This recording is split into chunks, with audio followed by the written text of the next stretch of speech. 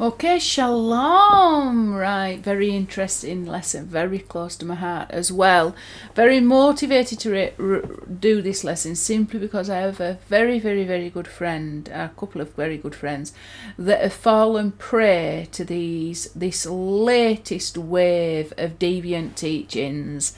Um, so it's all the Enoch solar calendars and all that accompanies that um, de- those deviant teachings. And in this lesson, I'm going to show very clearly why the Enoch Metatronic solar calendars are not Torah based. Okay, so this will go on for more than one lesson.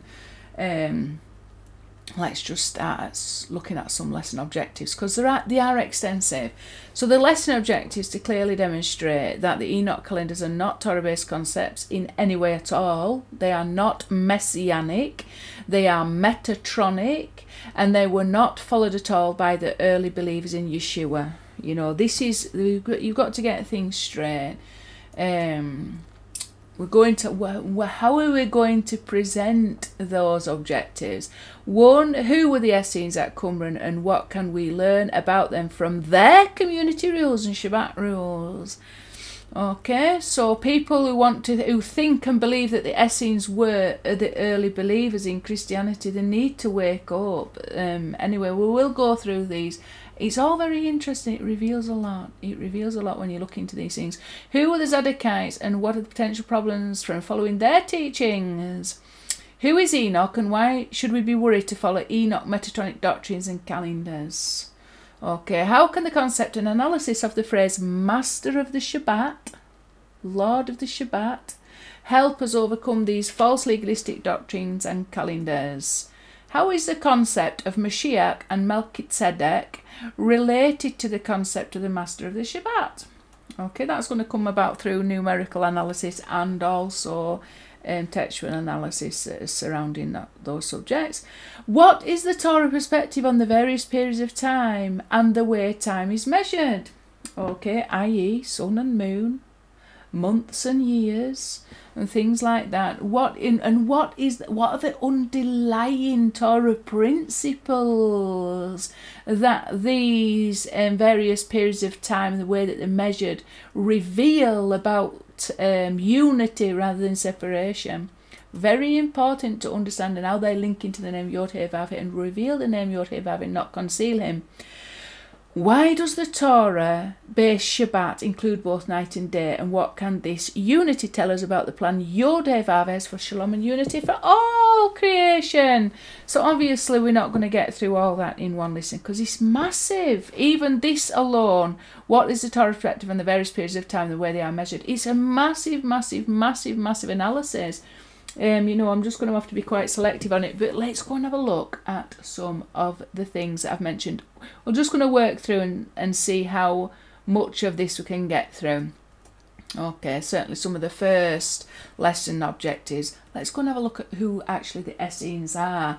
Because these people that are um, grabbing a hold of these, what's newly discovered to them, doctrines, um, need to have some background information into what who the actual Essenes were because they're not very clear cut. There were more than one type of Essene, there were more than one type of groups. They were not just living in Qumran. Um, and as we've also got to understand there's contradictions in the historical recording of these people. There's a lot of ambiguity around that anyway. The three major people that um, uh, you know, historically documented this Jew, these Jewish sects that would be called Essenes. Um, and there's a lot of ambiguity surrounding them, but let's go and have a look at some of the basic principles that we do know. The Essenes exceeded 4,000 members, members, didn't just live at Qumran, so they lived in other Judean cities as well. They had like holding houses and things like that. Okay, extreme strictness for the law and especially Shabbat observance. We will come to those and um, their own Shabbat observance, what's called the scrolls that were found regarding the Shabbat observance.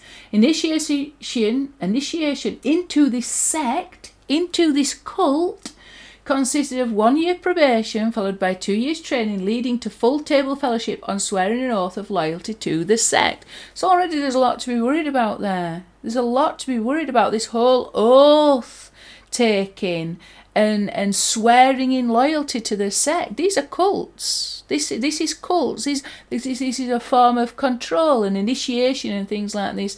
This is not Christian. This is not early church believers. Um, you know they did not need to be initiated in this way way. And what we're talking about leading to full table fellowship that means your entitlement to food provided by the community. Okay. So that's what table fellowship means there. They took all your possessions by the way and they would allow you to have certain amounts of food based on your behaviour. Only adult men allowed according to philo and pliny Josephus states some boys were initiated into the sect. Okay, so this male only.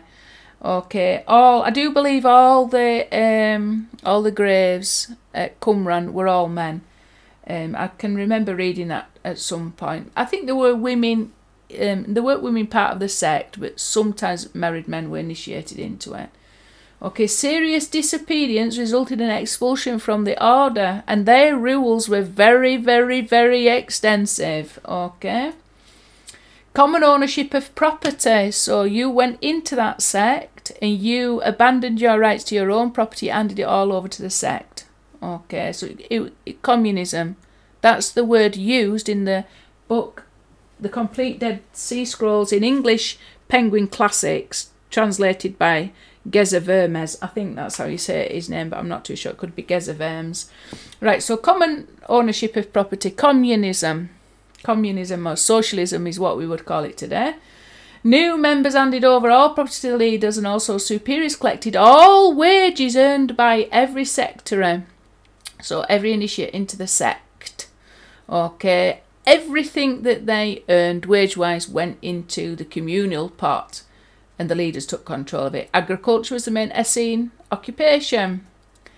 Having renounced all private possessions, the members received all they needed food, clothes, and care. Members could be harshly punished, however, according to community rules, and food withheld and rationed for a year. Sometimes they weren't allowed at this, which, if you read some of the um, rules, they had this like um, what what they considered their communal table or whatever, and um, and if you didn't behave, you certainly weren't allowed to be partake of that table. You was excluded. They had also things like wearing white garments, ritual bathing before meals, cooked and blessed by priests, rejection of animal sacrifices, and oaths to support their statements, and also rejection of marriages. So if you had a, you know, like what Yeshua said, yes, let your yes be a yes and your no be a no. You couldn't make an oath to say, I swear by holy names that what I'm saying is true and also rejection of marriage. Josephus says marriage was permitted in some Essene sects but solely for procreation. So there was a massive, massive aspect of it was celibacy.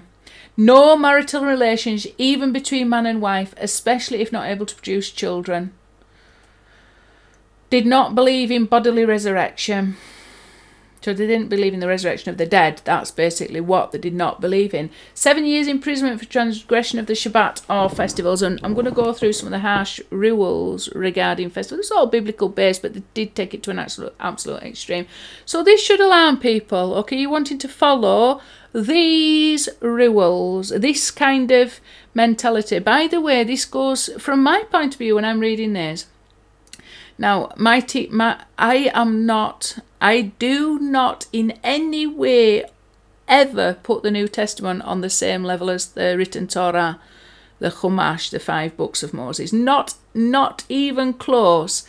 Um, I've made this quite obvious in all my teachings. I don't beat about the bush. I do not regard the New Testament as um, pure and holy. To the so there are aspects of it which are um, the truth. Why are the truth? Because they absolutely perfectly align with what is written in the written Torah, and the Torah is the truth. Okay, there's a lot that deviates from what is written in the Torah, and you can assume it may have been added on. It, it can't possibly have been a deviation to what was in the written Torah. Um, and when you're looking at some of these, you can start to think in your mind, okay, so lots of doctrine crept into the New Testament that wasn't really um, Torah based. Some corruptions, heavy corruptions, went into the New Testament. Things like um, you know, even things that, you know, simple basic errors like Stephen saying that Abraham was buried in Shechem, when it clearly states in Torah where he's buried, he's buried in the cave of Machpelah, and this is in, well, it's near a place called Kiryat Arba. That's where you have to go, and it's near Hebron. Okay, so that's where the cave of Machpelah is, which is um, much further south than Shechem. Shechem's right up in in the north of Israel. So you've got to understand there's a lot of problems. There's things quoted from scripture that isn't actually in scripture and things like that. So there are errors contained within the New Testament. You've got to be very clear. All my understanding and all my teaching are based purely on um, what is written in the Torah and backed up and revealed in the Torah. The concept of Mashiach ben Yosef and the concept of Yeshua as revealed in the Torah, which is pure and holy. So I don't go and I'm not biased by what is written in the New Testament unless it aligns with what's in the Torah. And obviously, some of these things are written into the New Testament. You got to question them. Why? Because they're certainly not Torah based. Celibacy and things like that are certainly not Torah based. Okay, so you can understand did this have an influence on New Testament teachings and was that influence holy and good? My answer to that is absolutely not. From a Torah perspective, absolutely not. So, Qumran's greatest novelty. This is written in the book, the Penguin Classic book, the entire complete Dead Scrolls in English. Okay, so this is the kind of people that we are dealing with at Qumran. Qumran's greatest novelty. If one had to single out the most revolutionary novelty furnished by Qumran, its contribution of the gene- genesis of Jewish literary compositions would justifiably be our primary choice. Comparative study of biblical manuscripts where no two copies display the same text and, a, and of sectarian works attested in a number of sometimes startlingly different redactions has revealed in one leading scholar's words insufficiently controlled copying. In my view, however, the phenomenon would be better described as scribal creative freedom. Qumran manuscripts of scripture and even more of the community rule and the war community rule and the war scroll indicate that diversity not uniformity reigned there and then and that redactor copyists felt free to improve the composition which we which they were rep- reproducing, even the scriptures themselves. So they, and this is the top scholars that have been able to analyze all of the scripts. Not one was the same. So if you was copying it, you copied it according to what you thought it should have said, even including scripture law. Qumran manuscripts of scripture uh, insufficiently controlled copying where no two copies display the same te text and of sectarian works attested in a number of sometimes startlingly different redactions. They didn't. They, this is this is not not not people that were. Um, you know, honouring and what had gone before. These are people who are changing it according to the wind.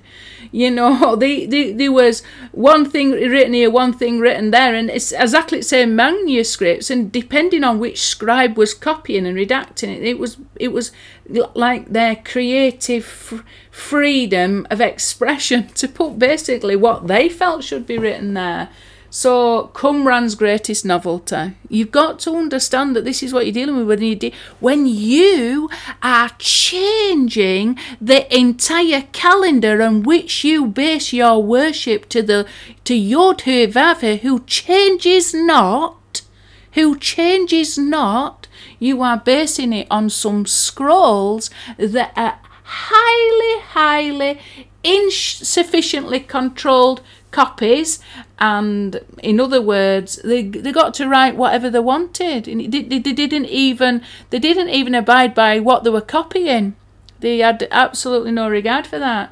They wrote what they felt they should be writing and that was is like it says here um, where no two copies display the same text.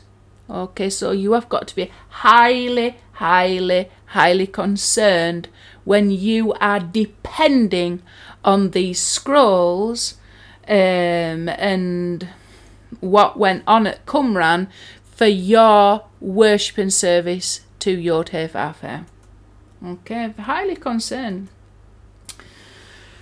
Right, not only should you be concerned from that point of view, lots of people mention this term Zadokites. You know, these were the true priests, if you like. The Zadokites, who were the Zadokites? They were the Sadducees that you were warned about in the New Testament.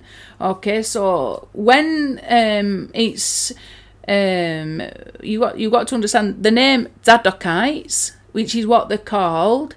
Um, and people have this romantic vision of these Zadokites, the Zadokites, the true priests. The Zadokites were the Sadducees from the New Testament. Okay, so let's go and have a look what the New Testament has to say about these Sadducees, Zadokites. But when John saw many of the Pharisees and Sadducees coming to his place of baptism, he said to them, You brood of vipers, who warned you to flee from the coming wrath. That's Matthew 3 7. Just to show that the Sadducees were the Zadokim, the Zadokites, mentioned in the New Testament. You've got this Encyclopedia Britannica quote, Britannia quote. Sadducee, uh, it could be Britannica, actually, Encyclopedia Britannica. I might have copied it wrong. Sadducee, Hebrew Tzedok, plural Tzedokim, member of a Jewish sect that flourished for about two centuries before the destruction of the Second Temple of Jerusalem in 70 CE. Not much is known of the Sadducees' origin and early history, but their name may be derived from that of Zadok, who was a high priest in the time of King David and Solomon. Ezekiel later selected this family as worthy of being entrusted with control of the temple, and Zadokites formed the temple hierarchy down to the 2nd century BCE. Okay, but by the time Yeshua came on the scene, they was corrupted. They was corrupted, and he made sure he communicated to his followers to um, be very aware of these. Be very aware. Um, this is another one from this. You could quote a lot, but I can't. I can't, I can't obviously quote everything written about Sadducees within the New Testament. The same day came to him the Sadducees, which say that there is no resurrection, and asked him. So these were people who did not believe in the resurrection of the dead. Okay, they didn't believe in the resurrection of the dead, and Yeshua himself called himself the resurrection. Okay just to make you understand who this concept of those who don't believe in the resurrection, it's written in the Talmud.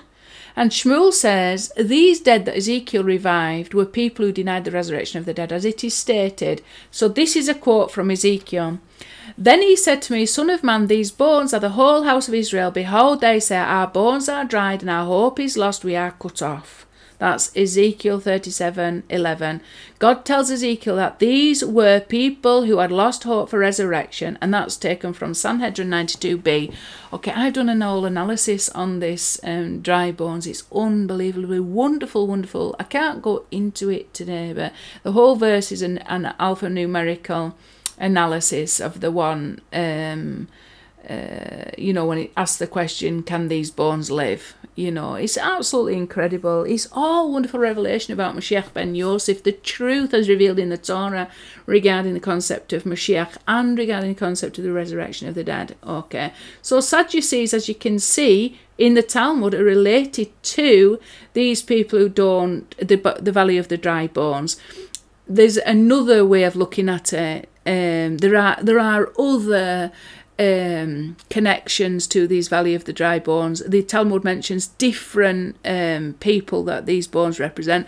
Another is a tribe of Ephraim, and um, it's very interesting. It's a tribe of Ephraim who prematurely left Egypt, be- believing that the time of the redemption had come, and they prematurely left and then they went into the land of the Philistines and they got absolutely slaughtered. I think they went. it mentions in Chronicles that they went looking for cattle to get the cattle back, and they got absolutely slaughtered. And it mentions that the father mourned for um, the this, these dead sons. Okay and that that is why the um, children of Israel was led um, around you know, they weren't allowed to go up into Israel through the land of the Philistines, Plishtim. They had to go via the Red Sea. And it was account on account of all the this valley of the dry bones, where those from the tribe of Ephraim would um, those bones that were from the tribe of Ephraim would frighten the, those leaving when they saw that all these people who thought redemption had come early but got it wrong from the tribe of Ephraim and ended up perishing. Philistine slaughtered them. The Palest, um, Philistines slaughtered them, and, and God didn't want them to see that, so He um, took them via a different route. Okay, so there are different opinions. It's all coded messages, things into it. So we can see how, you know, through the Talmud, there's a link between the Sadducees and the Ephraimites you know there is this link through the valley of the dry bone the valley of the dry bones you know so we've got to make sometimes we've got to make those connections because who is it now that's following the sadducees in their doctrine their zadokite enoch calendars and all this? It's probably i would say primarily those torah keeping uh, lost of the house of israel you know? And you know they're adamant that this divine calendar which is represents like um, perfection that we haven't yet reached. We haven't yet reached the time of full redemption you know? And we want to make sure that we're not running off early into the desert you know declaring our liberty um, before the time has actually occurred. There's no doubt in my mind, there is no doubt when Messiah comes again that he will restore a calendar that's different to the one that we've got now. Um, there's no there's no doubt about that at all in my mind. There are things that I would absolutely acknowledge don't add up to me regarding the current calendar that uh, that has been in place, the Hebraic calendar that has been in place. There's things that don't add up, but as far as the reality of the exile in which we are living now, and um, all that we are subject to during that exile until we have completed everything that we have got to complete down on earth, the 99, 999 footsteps of Mashiach ben Yosef, then we have got to understand that until that time comes, um, when when things change in a big way, you know, there will be a perfect year and a perfect month. We haven't got that now. We've got um, we've got the we've got a system which is very difficult to absolutely divide up the months and years.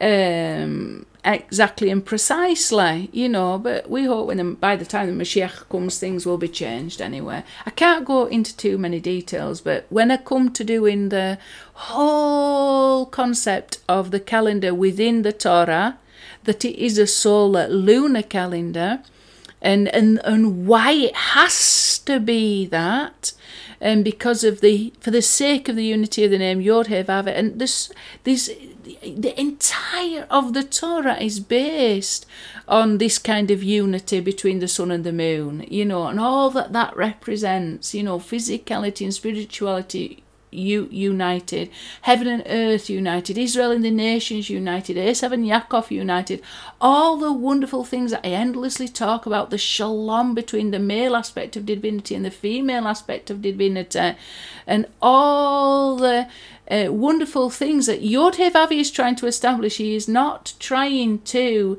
um, separate night and day, and he is not trying to separate the sun and the moon. Um, he is trying to bring unity, and the Mashiach is all about unity, not separation. So we've got to be very careful. We've got to look at all these things as codes and, wh- and what is happening in the world now that might align to some of these little coded hints that we've been given in the actual Torah and the and the and the Tanakh that can that can guide us through these last days before Mashiach is fully revealed. It's very difficult ground to negotiate, by the way. Um, it's not easy, and I'm I'm not surprised how people have been lured um, down the wrong paths. This is something else. This is what Yeshua himself said if you believe that this is what Yeshua himself said. Then Yeshua said unto them, Take heed and beware of the leaven of the Pharisee and of the Sadducees. That's from Matthew 16 6. Leaven and yeast is symbolic with pride and arrogance. That is something we need to totally avoid because to be a Hebrew, to have a Hebraic mindset, which is absolutely necessary in order to reach final redemption. We've got to be like Hebrews, and Hebrews is synonymous with the truth, and Hebrews is synonymous with humility. Okay, we cannot we cannot have pride and arrogance, thinking that we are somehow better than others because we are able to keep more laws and more rules and all that lot. Because I'm going to show you a video of all the rules and laws that I kept when I was going to, to convert to Orthodox Judaism for seven years. And, um, you know, this is no system that you want to be caught up in. So I know what I'm speaking of. Okay, let's see what else we've got. Oh, the Master of the Shabbat. Before I get to this, however, we need to make a distinction. So let's just go back and bring that, what we've just been looking at, up. We need to make a massive distinction here between Messianic consciousness and Metatronic consciousness. Okay. I did a teaching and I'm going to bring it up. Let's have a look. Um, I'll end this.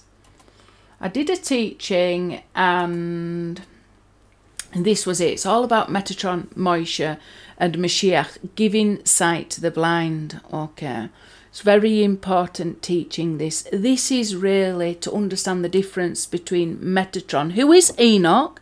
Enoch got transformed. He was no more, and he got transformed into Metatron. Metatron is an entire system that's in place whilst Adam is fallen from his status in Gan Eden. Basically, that's the way to sum it up. Instead of Metatron being there, there should be Moshiach there.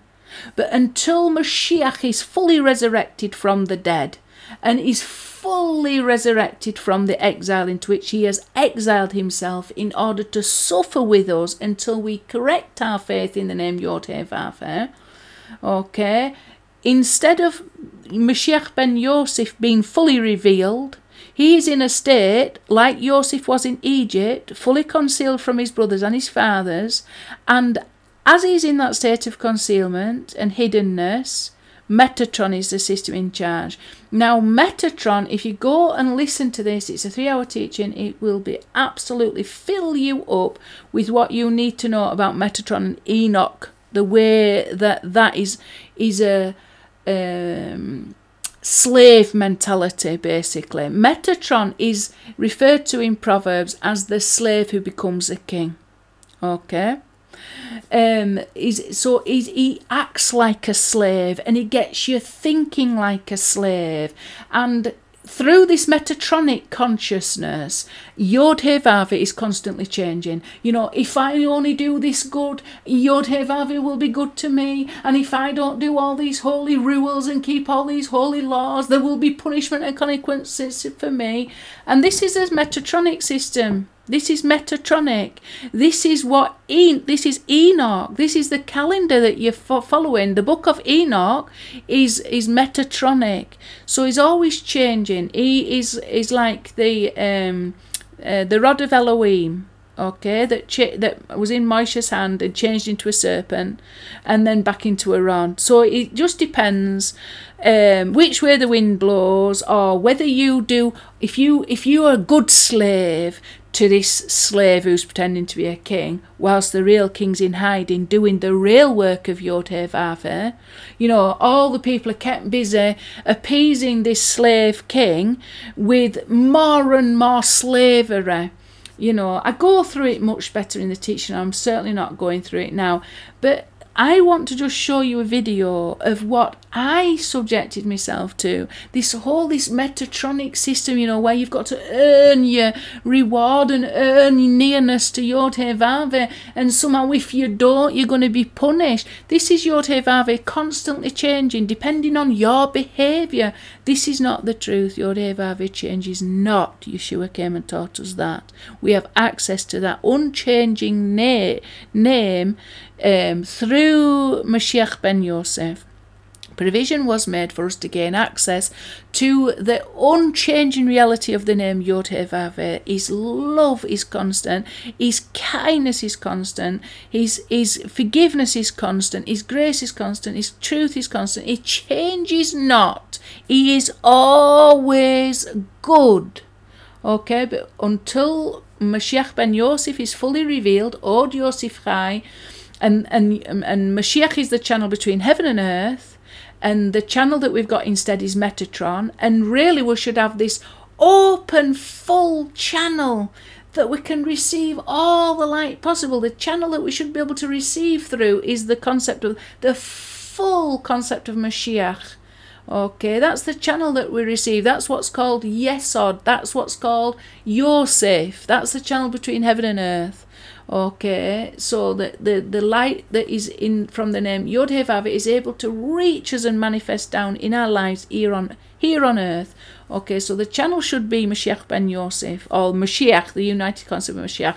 And until Mashiach is fully resurrected from the dead, and until everything that the Mashiach has got to do at this time in exile with us and suffer with us in exile whilst it's accomplishing all it's got to accomplish, Metatron's there instead. And Metatron's the cut from the concept of the tree of the good and the knowledge of good and evil. So if you do this that's good, then you'll be rewarded. And if you do this, then you'll be punished. And the flow from heaven to earth is very, very, very much restricted. It isn't the abundance that we should have through the channel that is Mashiach ben Yosef or the, the united concept of Mashiach. So I want you to show to show you my experience of metatronic consciousness rather than messianic consciousness. We have to attain messianic consciousness. We have to know who we are before Yod He We are sons and daughters of the living God. We are um, children of the king, daughters of the king, and sons of the king. We are not slaves to a slave pretending to be the king. Okay?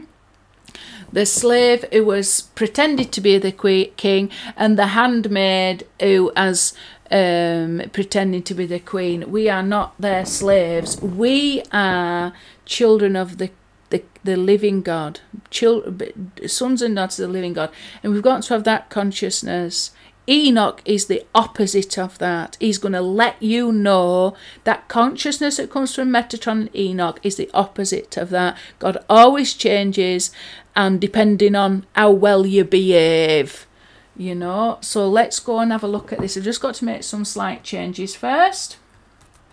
Laws of Yom Tov, which is slightly different from Shabbos. Bas Yisrael Halachas, so they're the laws pertaining specifically to a woman. Kitzur Shulchan Aruch, which is a shortened version of all the Halachas for today. It's a big, a big, big series there. So anything you want to know about praying or anything at all, it's all in there. Laws of Bracha, which bracha, which blessings to say for which particular meal, um, food, before and after, and the different quantities, etc laws of modesty down there, so how you're supposed to dress and act as a woman. The laws of Nida, you know, they're just two books there, look, and all the, um, that's just the monthly separation, all the laws that you need to observe regarding separation between a husband and a wife during a monthly cycle. Illustrated Guide to Shabbat. So, all the 39 malachas of Shabbat, the 39 law, laws that you've not to break and examples of that. Okay, um, this is kashrut. So kashrut is keeping ca cash kosher kitchens and stuff. So that's all the laws to do with milk and dairy separation, kasher in your kitchen, everything like that. Um, what you can eat with what. This is a course that I went on, a Shabbat course in the kitchen. You got to know what, you got to know exactly how to apply all these laws, you know, in practical ways. So, you know, like for example, Ashkenazi Jews are not allowed to take the lid off certain drinks because it's classed as a final hammer blow. Um, I can't remember what they call it now, I think it's right at the beginning actually. Oh yeah, Makkah Bepatish final hammer blow and also writing, erasing, writing. So these are all the notes that I took when I went on a course run by a very orthodox lady in the Jewish community. She taught me all the 39 malachas for everything. You know, if you're putting a piece of lettuce on your plate, etc. and uh, you know, cut, cutting cress, putting lemon on, putting mayonnaise, all kinds of things. There's, there's all kinds of laws, up to 39 laws you could potentially break just by preparing food on Shabbat, cooking food on Shabbat. You're not allowed to cook any food on Shabbat. You just have to, you know, be careful about your preparing. Uh, so it goes on and on. And then this is the books of the 39 Malachas of Shabbat. So the 39 malachas, you've got to, that, that's it. That, that's an essential read if you want to know how to keep Shabbat according to halakha. And these are just two books that my friend studied when he was here. Uh, was staying at my house, not this particular house in Scotland, but one down in Manchester when I was in the community. He taught me a lot of the laws. Then we've got things like this, Bedikas Hamazon. So this is all about looking for bugs in the food you know, and this goes through all illustrated the different types of bugs in food. If you don't check for bugs by the way you're eating them, um, what kinds of infestations are most likely in which particular foods and how to check each type of food. It's called Bedikas Hamazon. Um, what else have we got? Kashrut, Kashrut questions and answers. So, you know, waiting time for children. How long must children wait between eating a meal and dairy?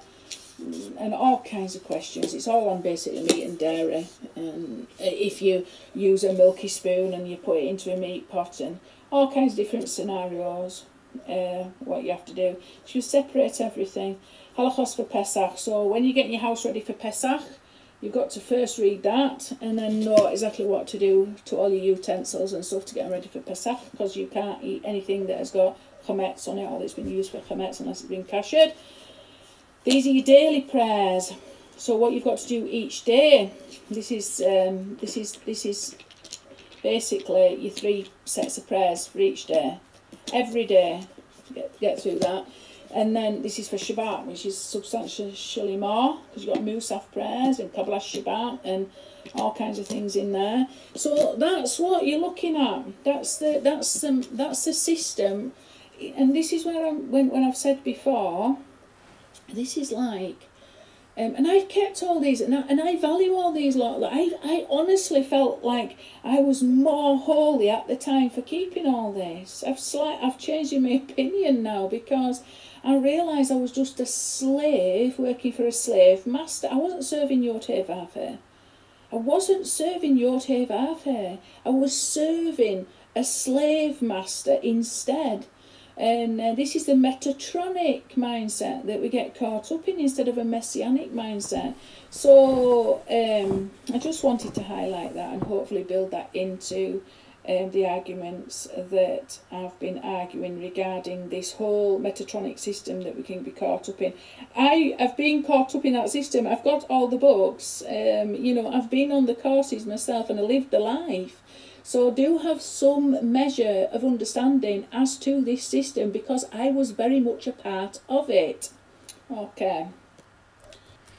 Okay, so now hopefully I'm going to have a look at the next stage of it, this whole concept of the Master of the Shabbat, to show how, from a messianic point of view, um, and having this view that Yeshua had, um, just even having a look at this this um, context, th- this concept of the master of the Shabbat can help liberate us from that Metatronic mindset. Anybody who's listened to my teachings on Metatron will understand more what I'm saying. Um, Metatron is is he acts instead of Yotevave. Most people are having a relationship with Metatron. Um, it's called in even in the Enoch books the lesser Yotevave. Okay, so he presents himself when we have not attained the level in our soul that um, elevates us up to the status of children of the King. Okay, until we work and elevate ourselves up through the channels that Yod himself has provided, through the concept of the Mashiach, the true Mashiach as revealed in the Torah of Yotevave, the Mashiach of Yotevave, not our fantasy fiction versions that we get from the lies we've inherited in the religions into which we've been born, the religions of Christianity, although there's a lot of lies regarding Yeshua, the religion of Judaism, there's a lot of lies regarding, there's a lot of truth, don't get me wrong, there's a lot of truth, there's a lot of lies. And we've got to, and, and even in Islam, there's a lot of truth, there's a lot of lies. We've got to elevate ourselves up and we've got to overcome the Metatronic um, system, if you like. When And it's the power of truth that that elevates us. Truth about what? Truth about Od Yosef Chai. Yosef is still alive. You know, this is the truth, and I go on about it always in all my teachings. That's the ultimate truth. We've got to have the truth regarding what Yod Vave has done through the concept of Mashiach to bring us into them elevated levels, and somehow whilst we are elevating our souls up to the very heights where we attain those levels where we know we are in the palace of the King, face to face with the name Yod-Heh-Vav as his sons and beloved daughters, uh, beloved sons and beloved daughters, and, and that provision of access has been made for us through the suffering of the Mashiach okay and he's we've been brought near on account of his death and his suffering. Um, and all the things that are involved with that and the unity of Moshe Moshe suffering as well in exile. And and then the the unity of the concept of Mashiach ben David all of it is is it, all of it builds us that channel that needs to be opened up um, that Metatron is there until we have figured it all out Okay, so you got to know what the challenges that's before us, and most people's relationship with God, what they perceive as God at this time, and when they say, I heard the voice of God, Metatron is the voice of God to most people. Okay, so all these things, when people are presenting their version of Yod Vave to you, but one day, well, he's blessing us, and then the next day the heavens are as brass, and their understanding of Yod Vave is constantly changing depending on the weather or depending on what they've done. The relationship that they are having is with Metatron, who is there until they get it figured out, the truth regarding Mashiach.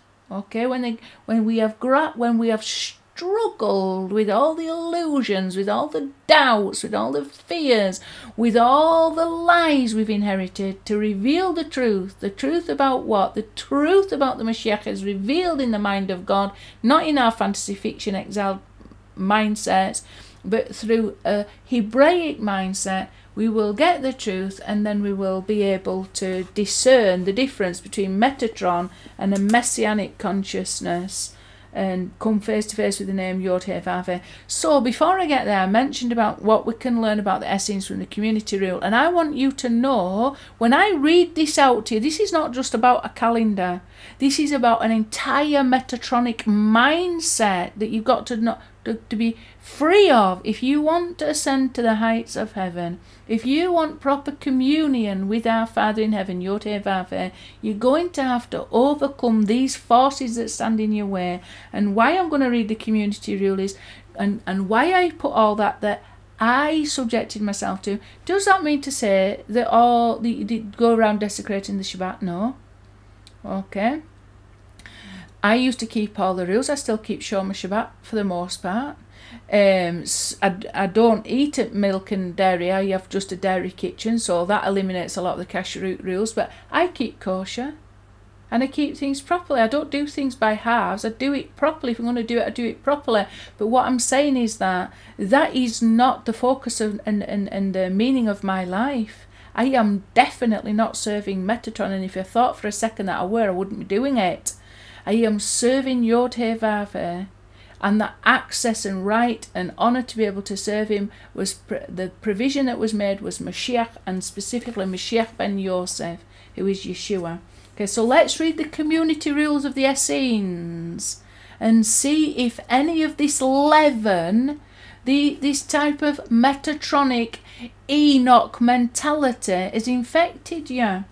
Right, these are the rules by which they shall judge at a community court or inquiry according to the cases. If one of them has lied deliberately in matters of property, he shall be excluded from the pure meal of the congregation for one year and shall do penance with respect to one quarter of his food. So that means he's basically going without a quarter of his food because he lied regarding property he might have like said that, oh, I've given you all my property but withhold something, okay? Whoever has answered his companion with obstinacy or has addressed him impatiently, going, as, going so far as to take no account of the dignity of his fellow by disobeying the order of a brother inscribed before him, he has taken the law into his own hand, therefore he shall do penance for one year and shall be excluded, so he won't be able to eat at the table. If any man has uttered the most venerable name, even though frivolously or as a shock, or for any other reason whatsoever, so the holy name Yod Vav, you're not allowed to pronounce it at all, while reading the book or blessing, he shall be dismissed and shall return to the council of the community no more, forever excluded. If he said the name, and a lot of these people that are keeping the Enoch calendar, they are sacred namers. They are sacred namers. If there was wanting to keep these rules, they wouldn't be allowed to. That be no more community if you were so uh, so adamant to pronounce the name Yod He If he's, he has spoken in anger against one of the priests inscribed in the book, he shall do penance for a year, and he shall be excluded for his soul's sake from the pure meal of the congregation. But if he has spoken unwittingly, he shall do penance for six months. Whoever has deliberately lied shall do penance for six months. Whoever has deliberately insulted his companion unjustly shall do penance for a year and shall be excluded. Whoever has deliberately deceived his companion by word or by deed shall do penance for six months. If he has failed to care for his companion, he shall do penance for three months. But if he has failed to care for the property of his community, thereby causing its loss, he shall restore it in full. And if he be unable to restore it, he shall do penance for sixty days. Whoever has borne malice against his companion unjustly shall do penance for six months from one year. And likewise, whoever takes revenge in any matter whatsoever. Whoever has spoken foolishly three months, whoever has interrupted his companion while speaking ten days, whoever has lain down to sleep during the assembly of the congregation thirty days, and likewise who has left without reason in assembly of the congregation as many as three times during one assembly shall do penance for ten days. But if he has departed whilst they were standing, he shall do penance for thirty days. And it goes on and on and on and on and on. Your lives was completely enslaved to the community rule book. You know, you had absolutely no say, even to the degree of how much you were getting fed. Okay, and in the Shabbat rules, let's go and have a look. Because these you need to be aware of so that um, you know what you're dealing with. Okay, what you're dealing with. So loads of people concerning the Shabbat to observe it according to its law. No man shall work on the sixth day from the moment when the sun's orb is distant from its own fullness from the gate wherein it sinks. For this is what he said Observe the Shabbat day to keep it holy. No man shall speak or any vain or idle word on the Shabbat day. He shall make no loan to his companion. He shall make no distinction in matter of money and gain. Just to bear in mind that a lot of these people following the Enoch calendars only keep the Shabbat from the daylight hours. They believe that Shabbat comes from sunrise. Okay, so this so, so here quite clearly, when the sun's orb is distanced by its own fullness from the gate wherein it sinks. Okay, so when the sun goes down, keep Shabbat from then. You, you're, you with me with this because I have listened to my friends keep now the Shabbat from sunrise to sunset. Okay? Just the daylight hours. They've separated the day from the night. They've separated the female from the male. They've separated heaven from earth. Okay, the church from the from Yeshua, because we represent, uh, we represent the bride. And we're in compared to him, we are like the night. This is why the virgins are waiting at night, you know, with the oil lamps. Uh, you know, we, can't have that separate separation. But anyway, they've gone down and managed to separate. But it's even against this community that didn't do that. So no man shall speak any vain or idle work on the Shabbat day. He shall make no loan to his companions, shall make no decision in matters of money and gain. He shall say nothing about work or labour to be done on the morrow. No man shall walk in the field to do business on the Shabbat. He shall not walk more than one hundred cubits beyond his town. No man shall eat on the Shabbat day except that he, which he is already prepared. He shall eat nothing lying in the fields. He shall not drink except in the camp. If he is on a journey and goes down to bathe, he shall drink water where he stands, but he shall not draw water into the vessel. He shall not Send out no stranger on his business on the Shabbat day. No man shall wear soiled garments or garments brought to the store unless they have been washed with water or rubbed with incense. No man shall willingly mingle with others on the Shabbat. No man shall walk, walk more than 2,000 cubits after a beast to pasture it outside his town. He shall not raise his hand to strike it with his fist. If it is stubborn, he shall not take it out of his house. No man shall take anything out of the house or bring anything in And if he is in a booth, let him neither take anything out nor bring anything in. He shall not open a sealed vessel on the Shabbat. No man shall carry perfumes on himself while going out and coming on the Shabbat. He shall lift neither stone nor dust in his dwelling. No man minding a child shall carry it whilst going out and coming on the Shabbat. No man shall chide his maidservant or manservant or labourer on the Shabbat. No man no man shall assist a beast to give birth on the Shabbat day, and it, if it should fall into a cistern or pit, he shall not lift it out on the Shabbat. No man shall spend the Shabbat in a place near to Gentiles on the Shabbat. No man shall profane the Shabbat for the sake of riches or gain on the Shabbat day. But should any man fall into water or fire, let him not be pulled out with the aid of a ladder or rope or some such utensil. So, you know, just let the guy drown and burn. No man on the Shabbat shall make anything on the altar except the Shabbat burnt offerings, for it is written, Thus accept your Shabbat offerings. And it goes on and on and on and on. Okay, so you got to be aware what you're dealing with. Extreme cult Metatronic mentality. This is not the teachings of Yeshua, but somehow this leaven may well have got into the New Testament teachings by design. Okay, it is not Torah as is written in the Torah of Moshe. Okay, it's very legalistic. It's very metatronic. It's very much a slave getting you to do slave work okay, with a slave mentality. This is not instruction from a father to his children in love for them to honour his name with love and joy. Okay, and that was what we gained through Yeshua. So I can't go through the entire of this concept of the master of the Shabbat. This is another lesson now, but I just wanted to highlight you know, this is the doctrine that you're attaching yourself to. You want to live like you think that these Essenes were early Christians, and, and, and, and that somehow by keeping this calendar, you are doing this great and holy thing. You are fooling yourself. You are deceiving yourself. A slave mind, a slave mentality, and it's very deviant teachings. Let's go listen to something that may refresh us. The whole concept of the Master of the Shabbat and how this nullifies this kind of attitude is wonderful, by the way. Um, but like I say, I won't get through it all in this lesson. The Lord of the Shabbat. At that time, Jesus went through the grain fields on the Shabbat. His disciples were hungry and began to pick the heads of grain and eat them. When the Pharisees saw this, they said to him, Look, your disciples are doing what is unlawful on the Shabbat.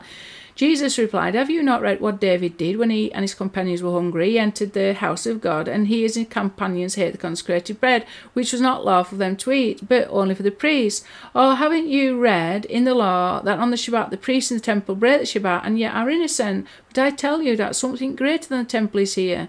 If only you had known the meaning of I desire mercy, not sacrifices, you would not have condemned the innocent, for the Son of Man is the Lord of the Shabbat. Okay? Okay, so now we're going to do some number crunching and we're going to see exactly. Um, I want you to bear in mind the concept that, you know, for everything holy and truthful and right, there's always an unholy counterpart. I want you to be very clear from this that the unholy counterpart is Metatron, Enoch, compared to Mashiach ben Yosef and the whole messianic um, mindset that we've got to do and the old messianic system that really should be firmly established um, and we have got to we have got to attain those levels within our own soul. We've got to wake ourselves up to true reality. Let's go and have a look at some of the numbers that are going to help us do that. For the son of man he is master of the shabbat. He's adon hashabbat master of the shabbat i.e you know um, uh, this is this is this is the real mentality that distinguishes between Metatronic and Messianic um, mentality. Okay, so as holy and as wonderful as the Shabbat is, once you reach this level, look like the Son of Man level, and Yeshua, by the way, was far, far higher than this level. He's just saying that th- this is something that's like accessible to us all, the level of the Son of Man. It's an appellation for a spiritual soul level, but we all have the ability to attain the level of the Son of Man. Uh, we can all even, in fact, fact attain the soul level of the Son of God. You know, through Yeshua, all these things are possible. So he's talking even about a basic level, much, much lower than his actual level, his spiritual soul level. He was the highest possible incarnation of the soul of Mashiach.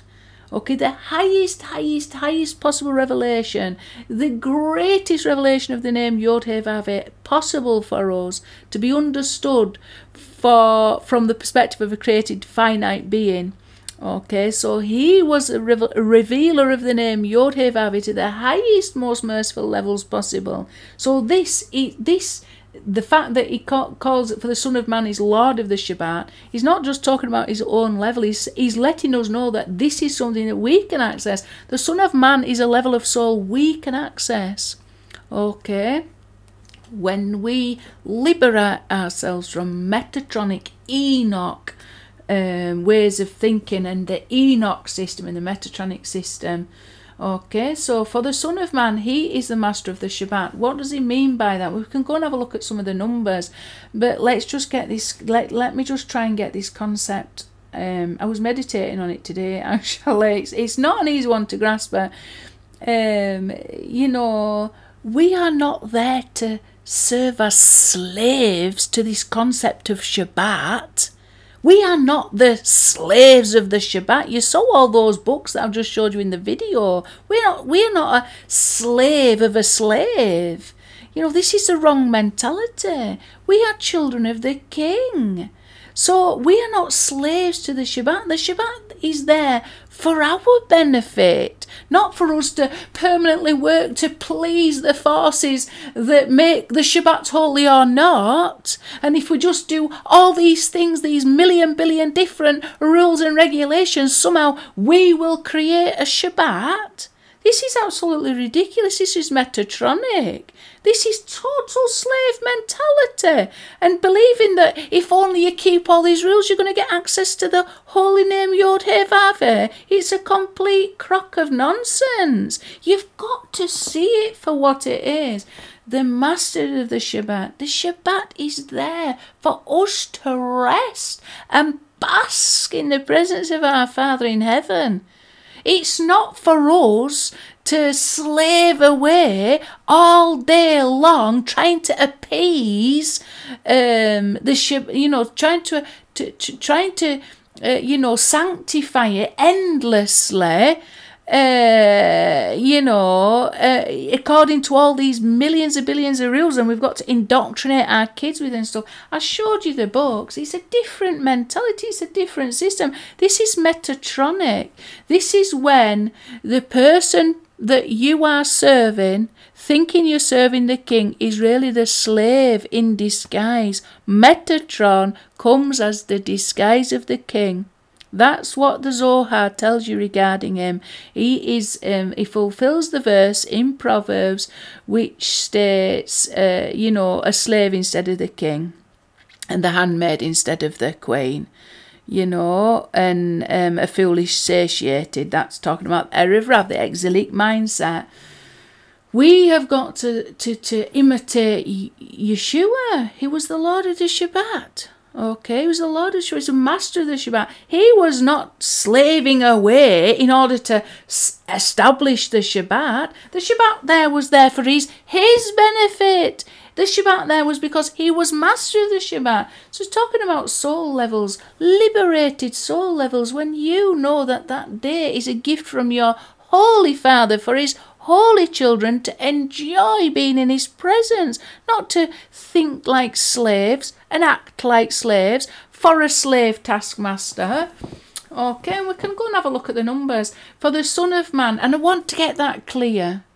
I want to get people who are relying on the Book of Enoch, who is Metatron, and even within that book, it tells you he is Metatron. This is a vast concept. The, the Metatron is the prince of the world. He's the ruling power of this world. We've got to defeat him. Yeshua wasn't subject to him.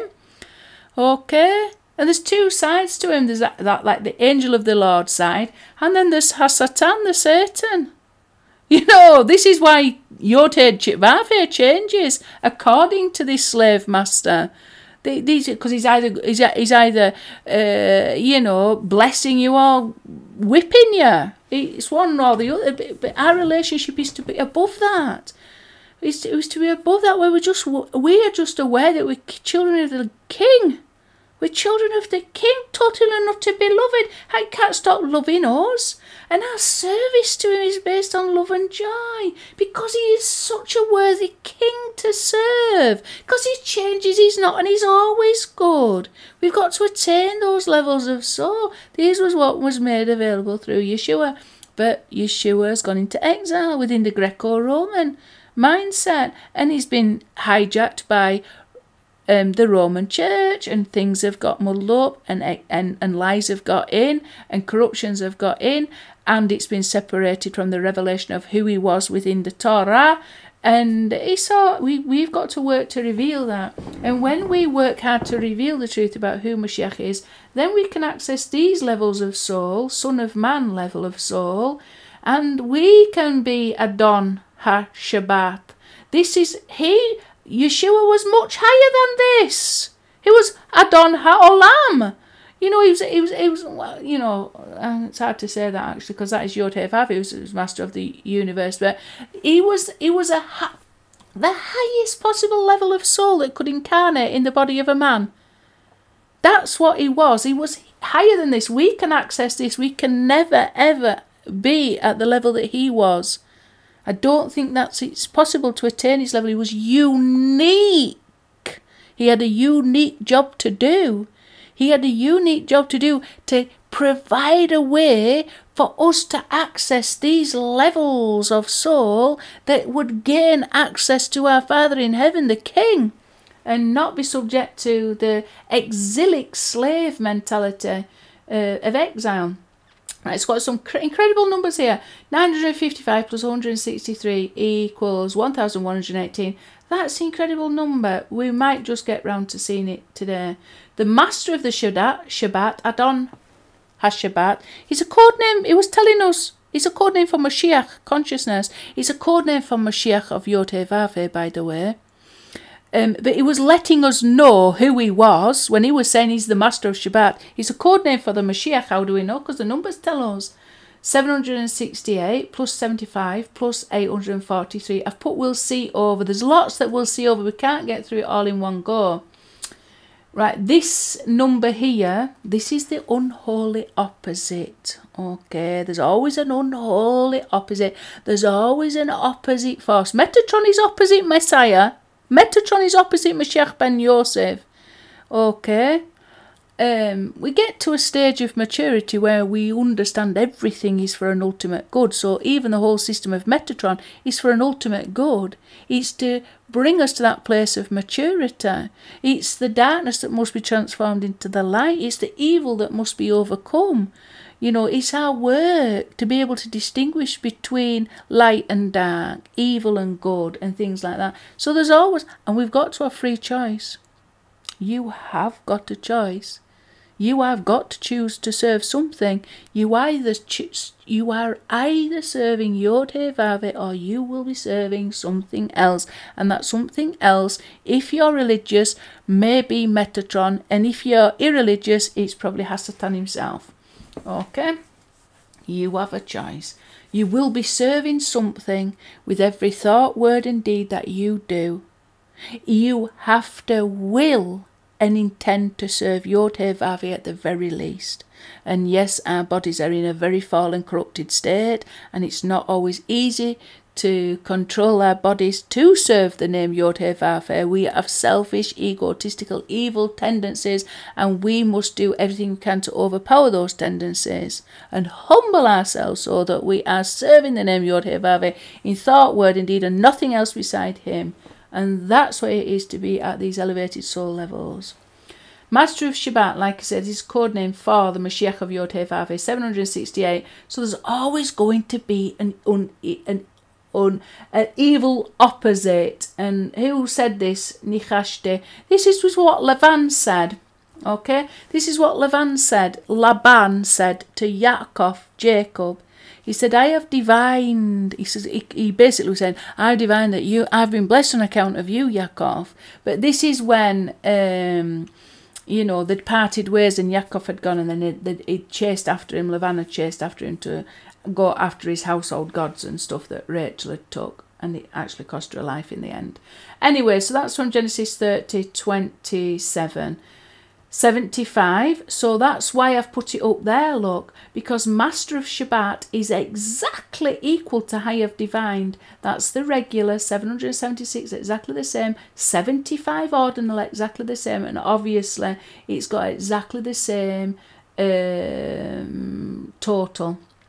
Okay, so there's a definite link between this kind of mentality. How did Yakov have to serve Lavan for his daughter? It was a slave. It was robbed and cheated. This was this was Yaakov. This was Yaakov, the father of the twelve tribes. It was in his household fourteen years. It was, it was in, in it even for longer you know, because then he had to he had to do 14 years just for his two wives. He was cheated into doing. It was robbed into doing. And then he had to steal away whilst Lavan was away busy doing something else with all the flocks that he'd gathered, no doubt, at the expense of Yakov slaving away for him. He was cheated and robbed. Okay. This is your Metatronic. It's opposite the Master of the Shabbat. You've got to see these things very clearly. He, he, he, he was the one that enslaved Yaakov and deceived him, right? And then when he worked for his flocks, Yaakov had to employ all kinds of um, ways in which to get um, some kind of wealth together so that he could eventually leave the household of Lavan, as he'd been slaving away to this day. You've got to leave it at some point. What gave him the power to leave Lavan's household? Yosef. It tells you, the Midrash tells you. The sages know he was given the power to. Yosef was the power that he had to face leave Lavan. Why? Because Yosef was the power that would over, overwhelm his brother Esav, and that's what he feared. Okay, going from the fat to the frying, pan. Okay, it's all right being a slave in Metatron's house. You should see what's coming when we when we get into Esau's territory. He was frightened, and he knew that the strength that he could give birth to to overcome the powers of evil that was represented by brother Esau was Joseph. And this is what we've got to connect to. This is the force that helps us to overcome our own outer flesh what is ASF, what represents our, our bodies, impulses, and desires. Okay, so it's one thing not to be su- subservient to Metatron, but going from the fat to the frying pan, um, to be su- subservient to Asaph, it's worse than being subservient to Lavan.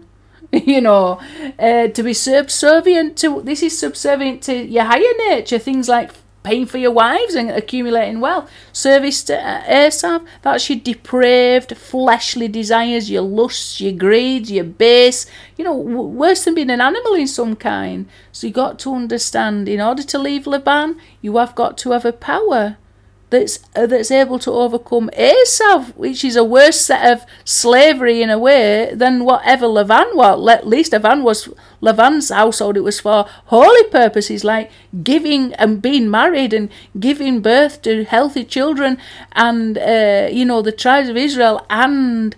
Um, what else was it? You know, building up your flocks and your wealth ultimately. I mean, Esav's territory?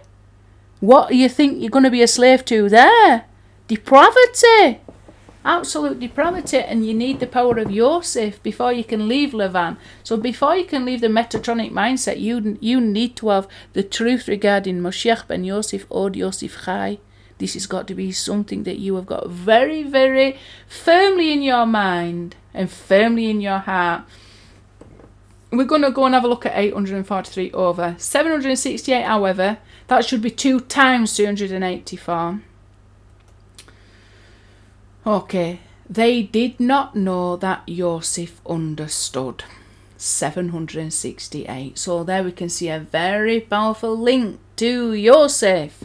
They did not know. Who did not know? His brothers did not know. It was Joseph in disguise. Joseph is in disguise at this time now. We have still facing these same problems. We have still got to leave Metatron behind and avoid becoming subservient to our Esav uh, mentalities and desires and lusts. Um, and how do we do that? When Yosef is still in disguise, he's not fully revealed for all the world to see. And as a result of that, it's very difficult to attach to the full power of Mashiach ben Yosef um, in order to free us completely from these exilic mindsets. Anyway, this is all code for Mashiach again, look, 192 plus 192 that's related to something else that we see later actually. And that add them, add them both together it comes to 990 what's 990 code name for Mashiach. Mashiach ben David 424 plus Mashiach ben Yosef is 990 okay exactly the same as they did not know Yosef understood. They did not know Yosef understood the entire concept of the Mashiach and how vital it was in order for us to um, you know, create that channel between heaven and earth. They didn't understand. That's why they sold Joseph into slavery in the first place. You know, there was um, there was this Joseph had to go through a correction, basically. What they did was ultimately for good. You know, it's like Joseph said, what you meant for evil, God meant for good. There's a truth in that. We've got to understand everything is perfect because it's all done by Yod He But he's given us an opportunity to see that perfection, how he's been working in secret to make possible, um, to make possible that opening up of the channel between heaven and earth, the truth regarding the concept of Mashiach ben Yosef and all the united concept of Mashiach, and giving us a work to do to overcome these very powerful forces, by the way, very, very powerful forces, like the Metatronic Enoch forces and the um, Edomite um, Asaph forces and the Ishmaelite forces, the forces of the Klipah that deceive us and delude us. So this is where we get to um, to this being a revelation of the Mashiach of Yod He We've got fantasy fiction versions of who Mashiach is. There's, there's the Mashiach of Yod and this is what is revealed in the Torah. Alphanumerically, by the way, because when you when Yod He spoke, he spoke simultaneously, you know, uh, verbally and numerically. The, the letters in Hebrew are both verbal and numerical, so we've got to understand them in both verbal and numerical ways. Uh, and hopefully that's what my analysis is do. Um, bring me great joy doing it, by the way. So 384 is heal up. 2, two times 384 is 768. So that's related to the master of the Shabbat, Mashiach of Yotevave. You've got to reach mess- messianic consciousness. We've got to cling to the to, the, to the Mashiach himself in order to elevate us up to those levels where we are no longer slaves to a slave master. We are servants to Yod as children of the King. We're here just to glorify his name. We're here to give honour to his name. We wouldn't want to serve anything else other than our Father in heaven because only he is worthy of service. Not some slave master, no thanks. Only Yod Vavi, but we've got to free ourselves from all the exilic forces that um, grab our attention for service. They fill our thoughts full of all kinds of imaginations. They then become the words that we speak and the actions that we do. Got to free ourselves from this mental mentality. So 78 equals, which 78 here, equals 39, which is the ordinal of Moshe, 2 times the ordinal of Moshe, 2 times 39 is 78. So that's that connected to Moshe. But Moshe, okay, is also the 384. Because Moshe is 345 plus the ordinal that we've just talked about comes to 384. Who is the Mashiach of Yod Vavi? Moshe. Who is who did Moshe become? Well, it tells you a prophet like Moshe, or like me. Uh, listen to him when he comes. Moshe came, the soul of Mashiach was first in Moshe. The Mashiach of Yod first incarnated in the life of Moshe. He was the first Redeemer, he will be the last Redeemer. He came back at the higher level of Mashiach ben Yosef in order to go after the lost of the house of Israel and others beside. Okay? And he, um, the umbrella term for the Mashiach is Moshe. Moshe will return. That means Yeshua will return. And now the final incarnation of the soul of the Mashiach, the Mashiach of Yod Hevavi, will finally come back and he will be Mashiach ben David. Okay, so he came first as Moshe to redeem the children out of Egypt. It came then as Moshiach ben Yosef to redeem the children out of Esav. And he will be coming back again to unite all humanity together as one and elevated us all up to these messianic levels of awareness and messianic levels of attachment to the name Yod face to face. Leviathan Okay, so Leviathan, I've done an analysis, but I've not done a video to this yet. Um, this is another concept that is basically um, very much related to the concept of yes off Yesod, Yesod, Yosef. Um, I can't say at this time exactly how it's related, but it's definitely related to Metatron because all the numbers are pointing that way. It's definitely major connections to the concept of Enoch. Um, so my understanding of Leviathan, it's opposite the holy. It's something to do with the unholy force that prevents us from, or the things that we have to battle against to prevent us from accessing the truth regarding the concept of the Mashiach. It's only an opposite. So this um, is somehow un. It's wholly opposite the master of the Shabbat. It's very much related to Da'ath. Okay, there's there's unholy Da'ath and then there's supernal holy Da'ath. The Mashiach is supernal holy Da'ath, supernal holy knowledge of God. That means you know God. Okay, you don't just believe in Him, it's when we actually attain that level where our faith is so complete that we know Yod face to face. And somehow Leviathan is there to prevent that from actually happening or to put up some fight, um, to uh, some resistance against us attaining that level of the knowledge of God. Okay, but it will in the end be fully revealed for all humanity. And then you've got Beit Elohim. This is this is the house of God that Yaakov spoke about. Okay, surely this is the house of God. So again, here we've got a connection to that, Master of the Shabbat and the house of God. Okay. Um, interestingly enough, the rules of keeping Shabbat um, where they get the 39 Malacha from are from the fact that they weren't allowed to build the temple on the Shabbat. They had to desist from continually building this set temple. So it's all the things that would um, contribute to building the temple. The 39 laws, like all to do with weaving and dyeing and uh, tanning and one thing and another, and, and all the growing of things, because obviously, you know, you've got flax and things that you would need to grow. So there's everything involved in the 39 Malacha they've they've, they've put it down to that would that they would have been doing in the wilderness in order to build the tabernacle in the wilderness, Mishkan. Uh, no, sorry, the Mishkan. Um, so this, the house of God, is obviously very much related to the concept of the temple. So we can see how it's related to the Shabbat because all those rules that I spoke about are very much related to the rules that they're, they're rules based on um, the fact that in the Torah it says that they didn't build the Mishkan on the Shabbat. okay, so their rules came from there. They don't just come, the Jews didn't just make them up, they was inferred within the Torah itself. So they're very much Torah based. But it's when you are under those rules, isn't it, instead of master of them. It's when you are um, subject to this kind of slave mentality rather than um, you've accessed higher levels of consciousness where you know that the Shabbat is just not about keeping rules um, to this degree. But there's a connection there anyway, and it's wonderful. There's probably a much deeper connection there, but um, uh, maybe other people can get much higher levels of connection than even myself. If we were to meditate on it and look at the numbers a little bit more seriously, I could probably come up with something else. But there's definitely a connection between being a master of the Shabbat and the concept of the house of God. To the reasons I've just said. Right, the angels of Yod, the angel of Yod Vave, this is Metatron.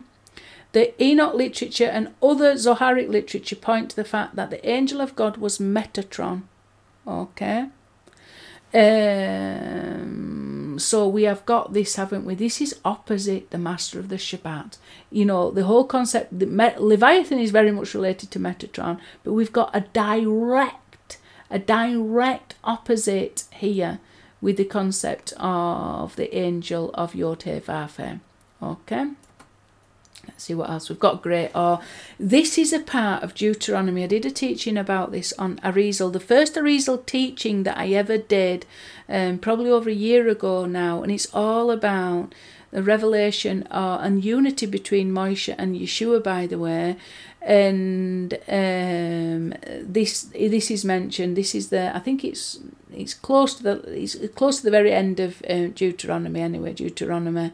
Um, it could be 3412 i'm not too sure now but um hamora hagadol great or but this is related like i say very much to relation a, revelation of yeshua okay? And that comes to 75 as well. So he is the ultimate master of the shabbat and he's the one that enabled us to have um, access to um, to Yod He Vav Okay, right now we're going to have a look at this number here. There's, you know, there's so much, there's so many numbers to look at, but this is particularly very interesting. So the 1118, for the Son of Man, he is master of the Shabbat. Okay, eventually we'll look at all these other numbers. I don't think we'll get through them in this lesson, I don't know yet, but and we've got that number to look at, and this whole concept of Yosef related to this concept of um, um, divination because he had the cup of divination and it's worth even having a look at that.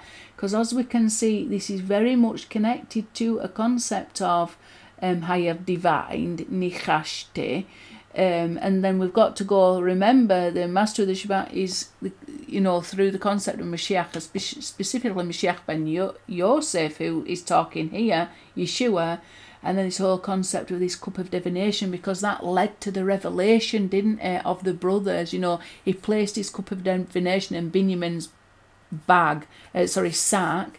And then that ultimately led to the revelation of Yosef being revealed to his brothers Od Yosef Chai. So it's worth having a look and making that connection because it's wonderful. Right let's have a look what we've got now then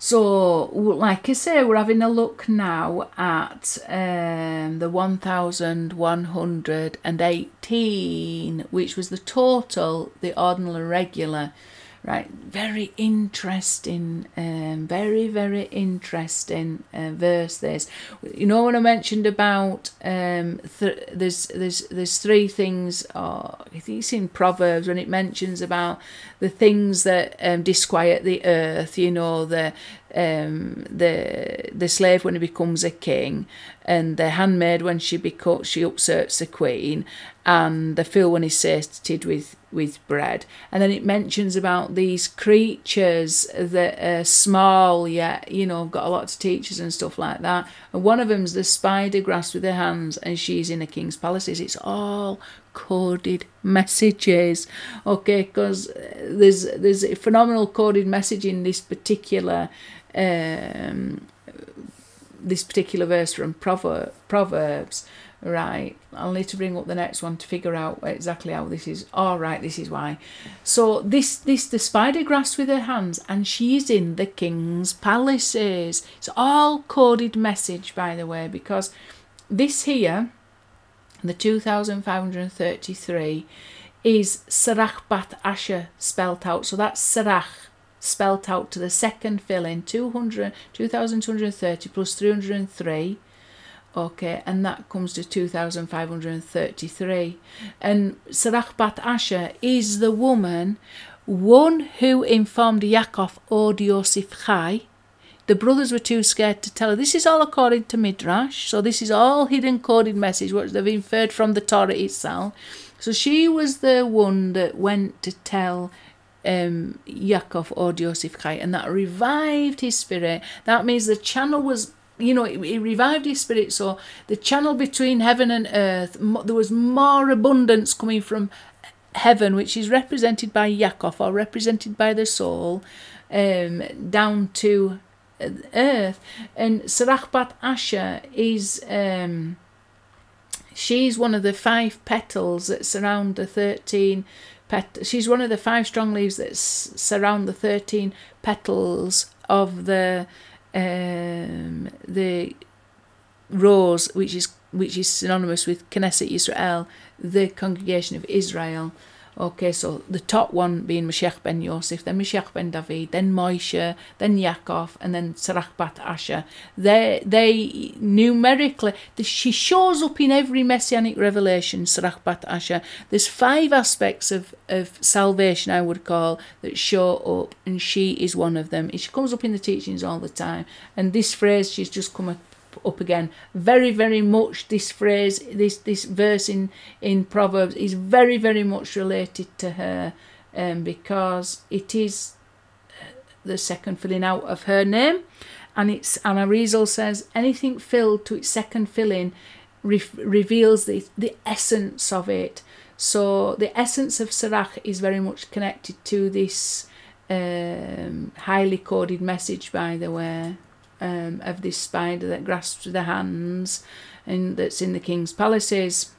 Okay, and this word here, ta pesh, Potiphar's wife grasped Yosef, and it's the same words. Okay, so there's a connection there. So she was the woman that told Yaakov, od Yosef Chai, but she was also the woman that showed Moshe the bones of Yosef, where the bones of Yosef were. She lived a very, very long time. So she was there before exile. She was one of the 70 going into Egypt. She was she came out of Egypt and then she's listed in the census of those going into Eretz Israel. Okay. And apparently, according to Midrash, she lived a long time. She never actually died. So 2238 is the regular and ordinal of the spider grasps with her hands. That 401, by the way, is Nachash. You know, we talked about Nachashti, I have divined, and it's related to the word Nachash, which is serpent. Okay, it's divination. It's it's all from the other side. She is a wholly opposite that because Nachash comes to 358, which is exactly the same as um, it's exactly the same as Moshiach. And then if you add the ordinal of um, Nachash, which is um, 43, the same as Asav, you get 400, 401. Okay, that's also the Aleph and Tav added together, isn't it? You know, the Aleph Tav. If you add the 400 for the Tav and the 1 for the Aleph, it's also 401. So they're the holy opposites. The serpent, she's a holy opposite the serpent. Okay. Just gone on a little bit too much. So this 200 2238 um, is connected to um, that phrase that we've just done about the master uh, of the Shabbat. Okay, and Sarah said, and to Sarah he said, Behold, I have given a thousand pieces of silver. Highly, highly messianic, by the way. This is Sarah was went into Avimelech and Avimelech, and she was captured. And um, you know, Abraham had said, "Tell her you're my sister." So she was captured, and then Avimelech was householders suffered some curses, etc and then what happened was um, he, he paid her these thousand silver pieces, but it's all coded, absolutely coded. There should be a shin there, by the way, for Sarah. Okay, I'll probably go change that now.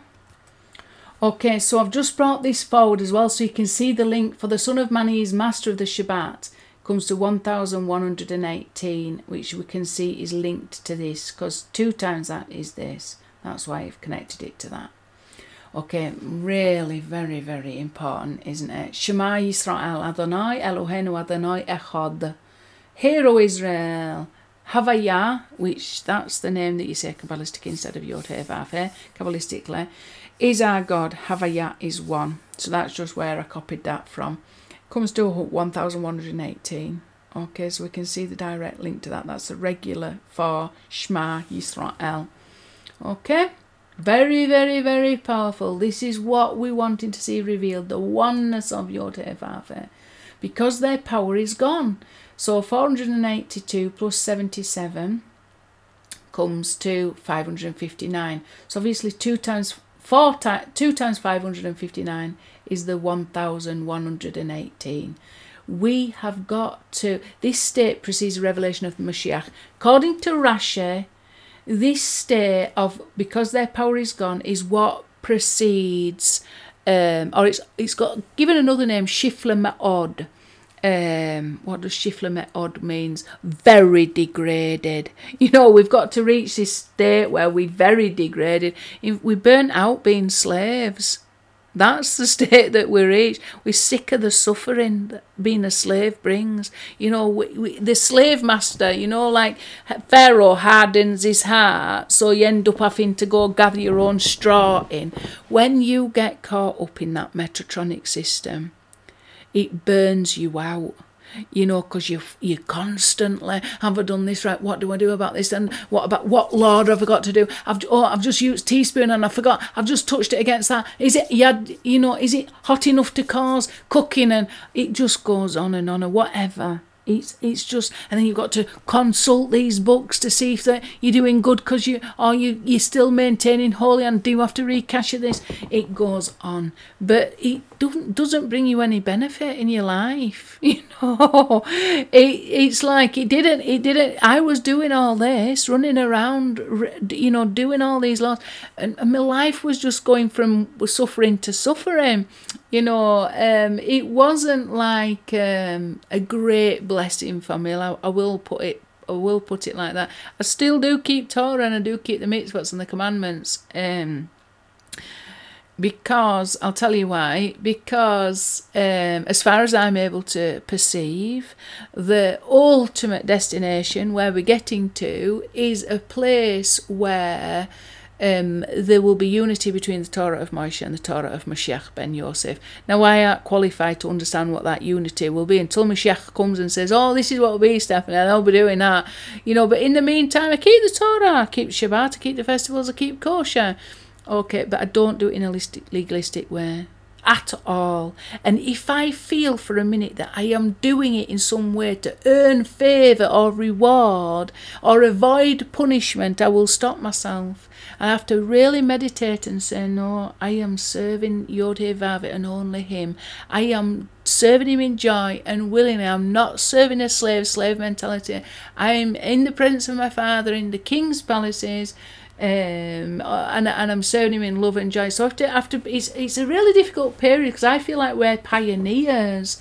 You know, we are like the first fruits, if you like, trying to understand and trying to open up to the light that has been revealed to us and being brave enough to walk in this light you know, that's been revealed to us. And sometimes that's letting go of a lot that has fought, that a lot of the darkness that has formerly held us bound. We've got to literally walk away from the chains that have that have bound us, and that takes time. You know, you, you can't rush changes. You know, real, true, everlasting changes take time. But as this light is emerging within us, and as the Torah is revealing um, the secrets to us, and as we are getting closer and closer to that time of redemption, a light is shining in this world. We've just got to be able to receive that light and allow that light to infuse our being and walk in that light.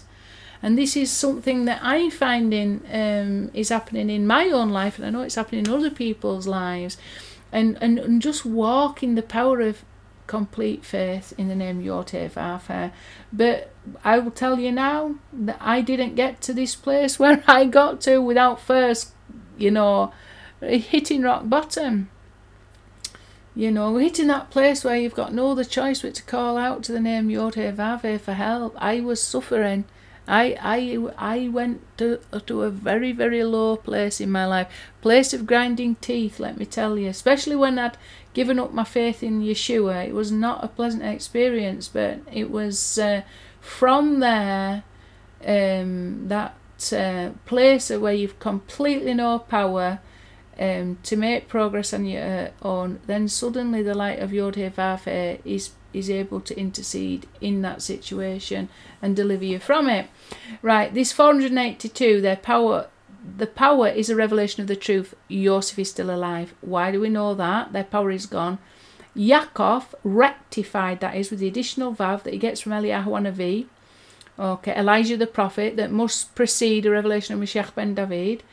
The regular and ordinal, the ordinal of Yaakov rectified is 53, add them together 241, which that, two times that. We've no power when we don't have the truth regarding the concept of Mashiach like Yosef, he was in a state of mourning until he was revived by Sarach Bat Asher with the truth, Od Yosef Chai. Okay? And then that's him fully, fully rectified with the additional Vav. That Vav represents the truth. Why do we know that? Because Vav is a sixth letter, Vav times Vav is 36, and the ordinal for truth, Emeth, is 36. Okay? So there's a connection and choose good. So we've got to reject this Metatronic system. We've got to have that strength to stop serving this slave master, you know, and go through that process of redemption. So that's a very important thing. We've got to be able to first identify, well, what is good and what is not good. Uh, we've got to reject the evil and choose good. And we can only do that when we are empowered with the truth. Okay. Da'ath.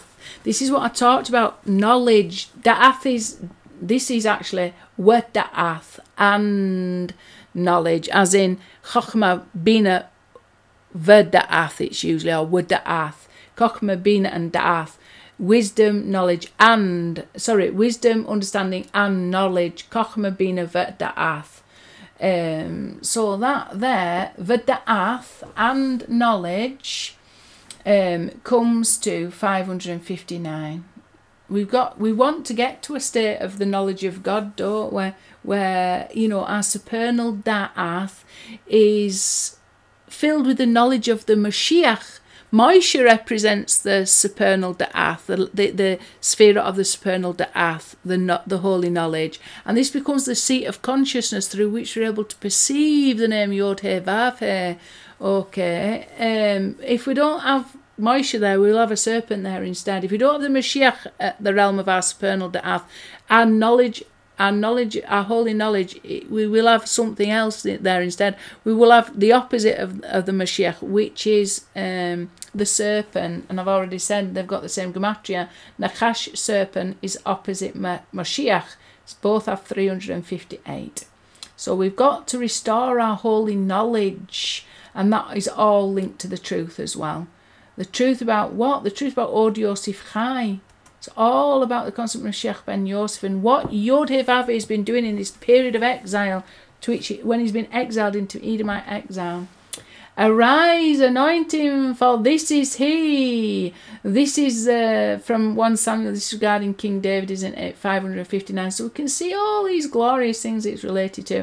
136, by the way, is the ordinal for this and 136 is Kiseh David, David's throne. According to Vilna Gaon, David's throne is Mashiach ben Yosef.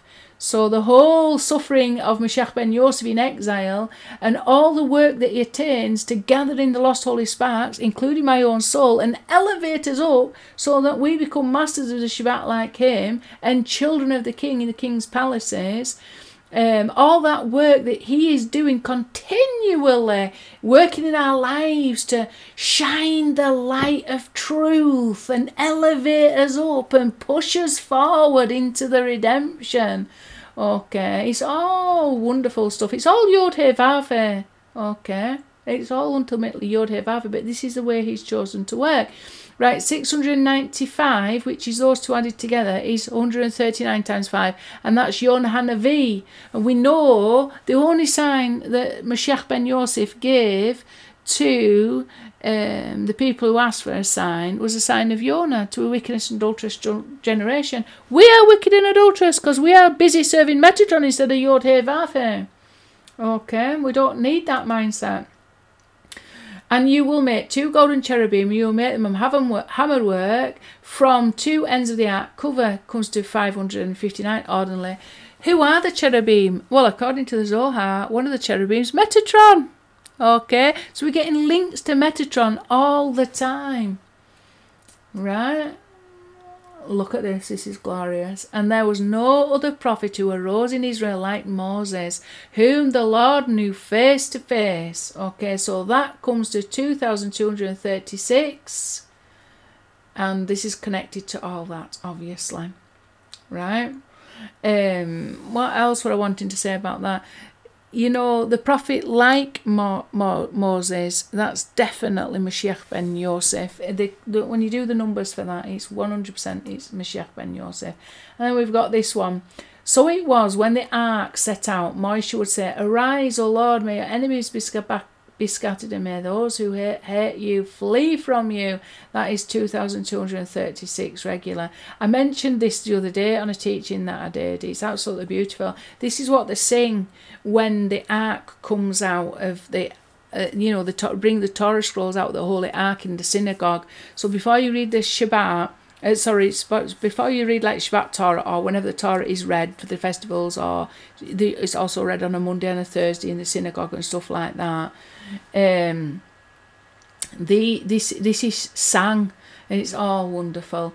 And and there's a separate part of the Torah where you've got these backward facing nuns, and as you can see, this part of the verse and some of the next verse on is is written here. You know, between these two inverted nuns, where the nuns are turned backwards. Oh, what wonderful, glorious stuff. It's very symbolic. This is, um, according to the sages, they say that this makes seven books of Torah because this part, this verse here, and the little bit else extra that's added on to this, um, that constitutes one book of Torah. So the book of Numbers is then split up into three separate books. The book prior to this inverted nun, this couple of verses, and then the book um, that comes after. So that would make seven books of Torah in total, and they represent, the, I think, the seven pillars of wisdom that's mentioned that the um, world was found, founded on. Okay. What we're looking at now. All right, so mentioned about the divination, didn't I, of Yosef. Let's just quickly have a look at this. So, is not this the one of my master's drinks? Is is not this the one my master drinks from? Why, he even divines with it. You have done evil by the way of you've acted. So it was set, was set up work the, this was planted into Benjamin's sack, this cup of divination. Okay, why he even divines with it 752, 122, 874. And, and you, you can understand because the word divines, nechesh, yenachesh, is exactly the same as um, Nechashti I have divined, and that was related to Laban being the master of the Shabbat. So Laban really represents the Metatronic um, system. Don't don't you got to basically slave away for Laban to get uh, you know your wife and and and and and, uh, you know your flocks. And so it was that whole concept I, I have divined, and then that linked back to Yosef. So now we're having a, just a quick look through this because it's all interesting stuff. It all helps liberate us from that Metatronic mindset and it helps us to establish a more messianic consciousness because we're really looking at the perfection of Yod Vave. Because, like I say, when he spoke in Hebrew, he spoke in numbers and verbally. We've got to be able to communicate in numbers and verb, ver- numbers and verbally as well you know, like this, and this gives us a message that really speaks to us and helps us to make those necessary connections that must be made.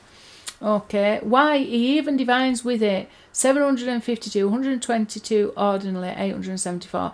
That is exactly the same as whose son? From 1 Samuel 17 57. Um, ben Me, um, whose son, or the Ben who. Um, that comes to 1102, which is this is exactly the same as Emunah. You know, Yo- Yo- Yosef was enslaved for two extra years after he divine after he um, interpreted the dream of the cupbearer. He, he, when the cupbearer was going to back to Pharaoh to be reinstated in his position as the cupbearer, and the chief baker was going to be executed, Joseph said to him, um, Remember me to Pharaoh and take me out of here. That showed a lack of faith on two counts, right? So he suffered two full years in prison before Pharaoh had a dream with the cows and the thin cows and the um, lush grain as of wheat and the thin grains of wheat. And Joseph was brought from the pit after two full years in order to interpret that dream for Pharaoh and then he became the viceroy. A viceroy means you are the monarch's representation on earth. Okay, so you are the monarch's representation. He was Pharaoh's representative. The Mashiach is, the Mashiach ben Yosef, and the Mashiach is Yod Hevav is representation, representative on earth. Okay. so this 2000 millennia since Yeshua was died represents those two years that must be completed and we're in 1988th year now must be completed. This is according to isaac newton's astronomical calculations. His 2000 years must be fully completed so we're at least 1988 that was from pesach 2021 okay. There's a chance it could be three years earlier. So there's a chance we could be 1991 as of pesach and with nine years left till the completion of those 2,000 years that represent um, the need for us to be perfected in our faith, our uh, perfection of two aspects of faith um, out of the 13 aspects of faith that we should have complete faith in the name Yod He Vav One of them being faith in the coming of Mashiach, the true coming of Mashiach, the Mashiach of the Mashiach of Yod He Vav as revealed in the Torah, not the Mashiach that we've inherited, the lies from the religion into which we've been born. Or we've we've chosen, and all the false doctrines, and all the false teachings, and all the metatronic ways of perceiving uh, reality that are going to block us from knowing the true Messiah, the true Mashiach of Yod. So the coming of the Mashiach, the Mashiach, not our fantasy fiction Mashiachs, and then um, faith in the resurrection of the dead. so obviously Emuna comes to 102. The ordinal of Emuna is 39, which is exactly the same ordinal as Moshe, adding together to come to 141. So we can see the regular of this is connected to Emuna, but here it's connected to why he even divines with it. Okay, and we know that um, Joseph is very much connected to the concept of rectification of our faith. Why? Because his, his name, Joseph, comes 156 plus 48, ordinarily adding together come to 204 which is two times a Emuna. And like I say, we're, we're in this exile, this 2,000 year exile for two counts of lack of faith. The lack of faith in the coming of the Mashiach of Yod Vave and the lack of faith in the re re resurrection of the dead.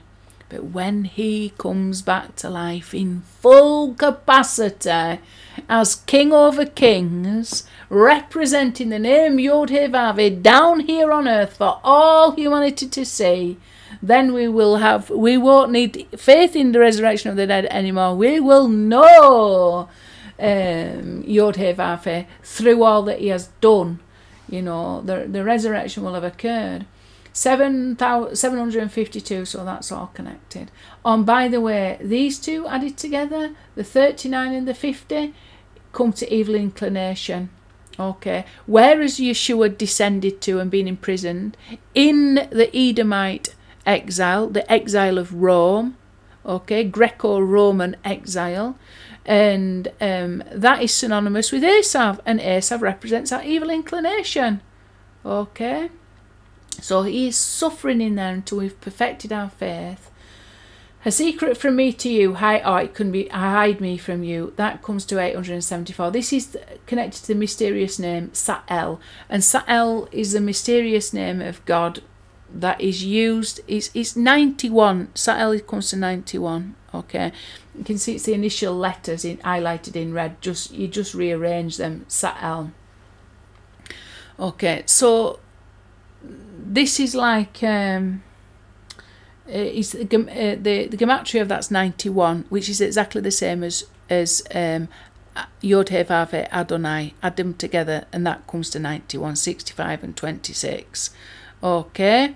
Um, so there is a connection, and again, it's a unity, isn't it, between heaven and earth?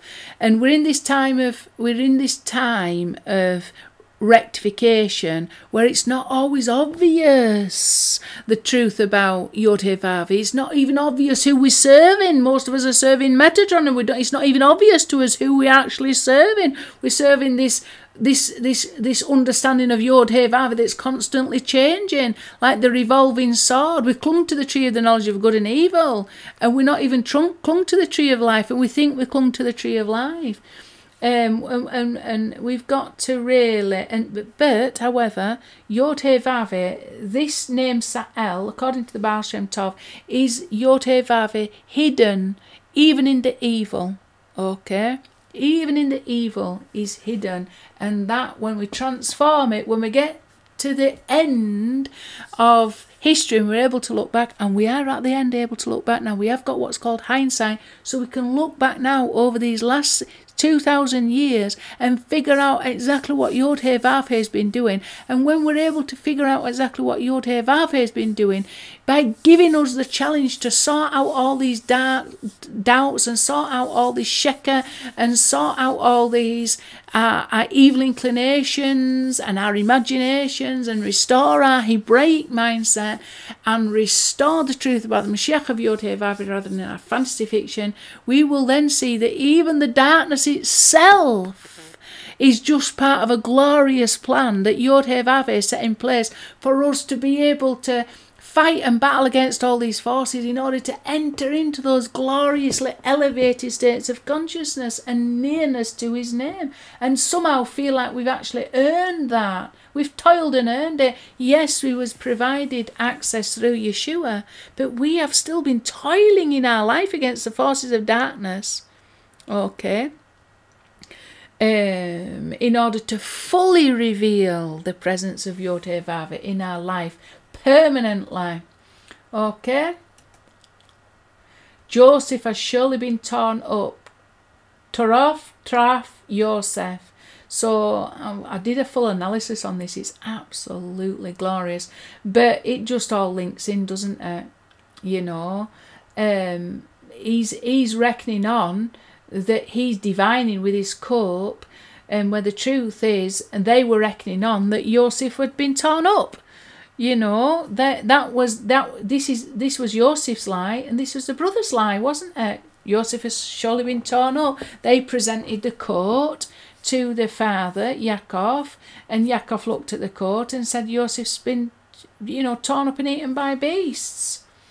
You know animals wild animals. So it's it's even in the lie and the deception the truth will ultimately be revealed there's only Yod Vav, and he's working in secret in a lot of ways until we are able to walk in that light on our own. You know, until we are empowered to walk forward and proceed with faith till the final redemption, you know. And then we've got Pinchas here Okay, so Pinchas comes to 208, uh, ordinal 64 comes to 272. This is the square ordinals of Pinchas, so each of the letters squared, the ordinal letters squared. So that's 17 squared, 10 squared, 14 squared, 8 squared, and 15 squared, and that's them. That goes to 874. 874 is 2 times 437. 208 is Moshiach ben David, the ordinal of Moshiach ben David plus the ordinal of Moshiach ben Yosef. Okay, when David is spelled rectified with an additional yud. And then we've got Ani Shalom, I am peace. I am peace. That's when he was dwelling in the tents of Kedar, isn't it? 437, so that's from Psalm 127, verse 7. So we can see that's linked to all that. Ani Shalom, I am peace. This is the revelation of Mashiach ben David that precedes the revelation. No, it comes after. Once we've done all that we need to do, um, all the footsteps below, um, we've got to accomplish um, whilst Mashiach ben Yosef is hidden, we've got a work to do to gather in all the holy lost tribes, just like Yosef, while he was in concealment, was so busy, was the actual viceroy of Pharaoh himself, but what, we, what he was doing in that time was he was preparing the way for an ultimate redemption. Okay, and he was making sure that when the redemption needed to be, uh, you know, when um, uh, well, it's just for an ultimate redemption. It's like he says, what you meant for evil, God meant for good. Um, light, um, or the square ordinal of R, light, is 437, so we can see all that. Talked about being empowered by the light, the light of the name Yod Vav.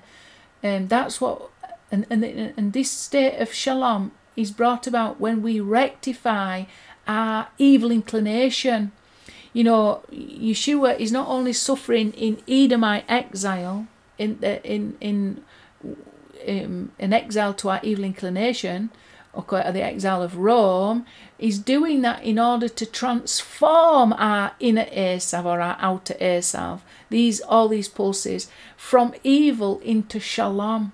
What can be rectified of that? So, for example, if we've got a lust, you know, we're driven by lusts and various greeds. How can that be transformed from a negative into a positive where we are, instead of serving ourselves and ended up dead as a consequence of our selfish, egotistical, um, consuming nature, how can we transform that into something um, holy. And the way that the, the, the way that it is in um, from a kabbalistic point of view is that it's impo- Esav just wants to receive, receive, receive, receive. He wants, wants, wants for himself, self, self all the time. He would eat the whole world if he could. You know, enough is never enough for him. But when it comes to what can you use that desire to receive for in a holy way, Yod Vavid desires to give us everything. It wants to pour out everything. And you need a vessel that wants to receive everything in order to get what Yodivavi himself desires to give us. The only problem is if it's self centered and egotistical, God can't give us that because it ends up in destructive ways. We've got to transform our desire to receive into a desire to receive for the sake of holiness, to give our Creator pleasure because He desires to bestow upon us, not for our own selfish ends. And that comes around when we subdue the selfish, egotistical nature of wanting to receive and have there instead holiness. And that's where shalom comes between body and soul. And then once we have that shalom between our body and soul, then we can receive all that Yod Vavi wants to give us. So this is, we're in a process of rectifying our vessels, our selfish, egotistical, grab, grab kind of um, vessels that we've got transforming them into vessels of shalom, and with those vessels of shalom, receiving all that Yod Vavi, all the light, the awe that Yod Vavi desires to bestow upon us. And the Lord saved David, so that comes to 122. And this is in the verse, this is um, in the verse when he put governors throughout all the land of Edom and then the Lord saved David as a consequence of him putting governors in Edom. What does Edom represent? Well, the, this exile that we're in now, it represents evil inclination. It represents Esau, these lower natures that need subduing. So King David put governors in that. That's really, we've got to have some holy force to govern those natural natures and intent inclinations that we've got to subdue them to the side of holy to form the vessels that need to be formed. Man is a tree of the field, comes to 92, um, which is exactly the same as the ordinal of Mashiach ben David, spelt rectified, exactly the same as that. That's 92, that's 116, add them together, you get 208. So 92 is this spelling of Mashiach ben David. So obviously, man is a tree of the field. This is a curious saying um, it's one that sages go a lot. This whole concept of man being a tree of a field. We have to experience in the field of life, um, which sometimes can be the field of Esav or it can be the field of the Holy Shekinah. It just depends on the way that we live our life. But um, you know we have to experience God in, in not just read about Him in a book and not just sit there in the yeshiva for hours and hours on end, um, figuring Him out from written text. We've got to experience Him in every single aspect of our life, and that's that to me is like this man is a tree of a field, and and also there's an there is an only opposite to that Joseph was sent out to the fields actually by Yaakov to his brother. So there is a connection to Yosef. It mentions about um, Joseph being sent out to the field. Um, and then there's all kinds of um, midrashic teachings about that. You know, the last teachings that Yaakov taught him about the um, the cow with a broken neck because they find a man out in the field who's been murdered and they don't know who's murdered him, etc. There's all kinds of teaching. I'm not going to go into that now, but Joseph was sent out into the field. We have all been sent out into the field, and this as well is um, the same gematria as Shaddai, as in El Shaddai. But Shaddai is also the same gematria as Metatron, 314. So there's a link between Metatron and the name, the holy name of Shaddai. And that's therefore related to Ha Sadeh. Ha Sadeh has got the same gematria as Shaddai. Um, what was is what will be. This is taken from Proverbs, that's 121. The initial letters spell Moshe. What was is that what will be. Basically, Moshe was the first redeemer, he will be the last redeemer. Okay, it's as simple as that. That's what that means. It's basically because Moshe represents the soul of the Mashiach. The soul of Mashiach incarnates at different levels, like I've already explained in the teaching. Adonai written out in full, the ordinal, the regular, and then the ordinal of that. Um, you know, it's very much related to that that we were talking about, weren't we? The master of the Shabbat, Adon um. This is Adonai. Um, very much related though, isn't it? And Adonai is very much related to also the um, Malkuth. It's the name of the Malkuth, which is the kingdom of heaven on earth. Um, and its breath, it has gathered them in.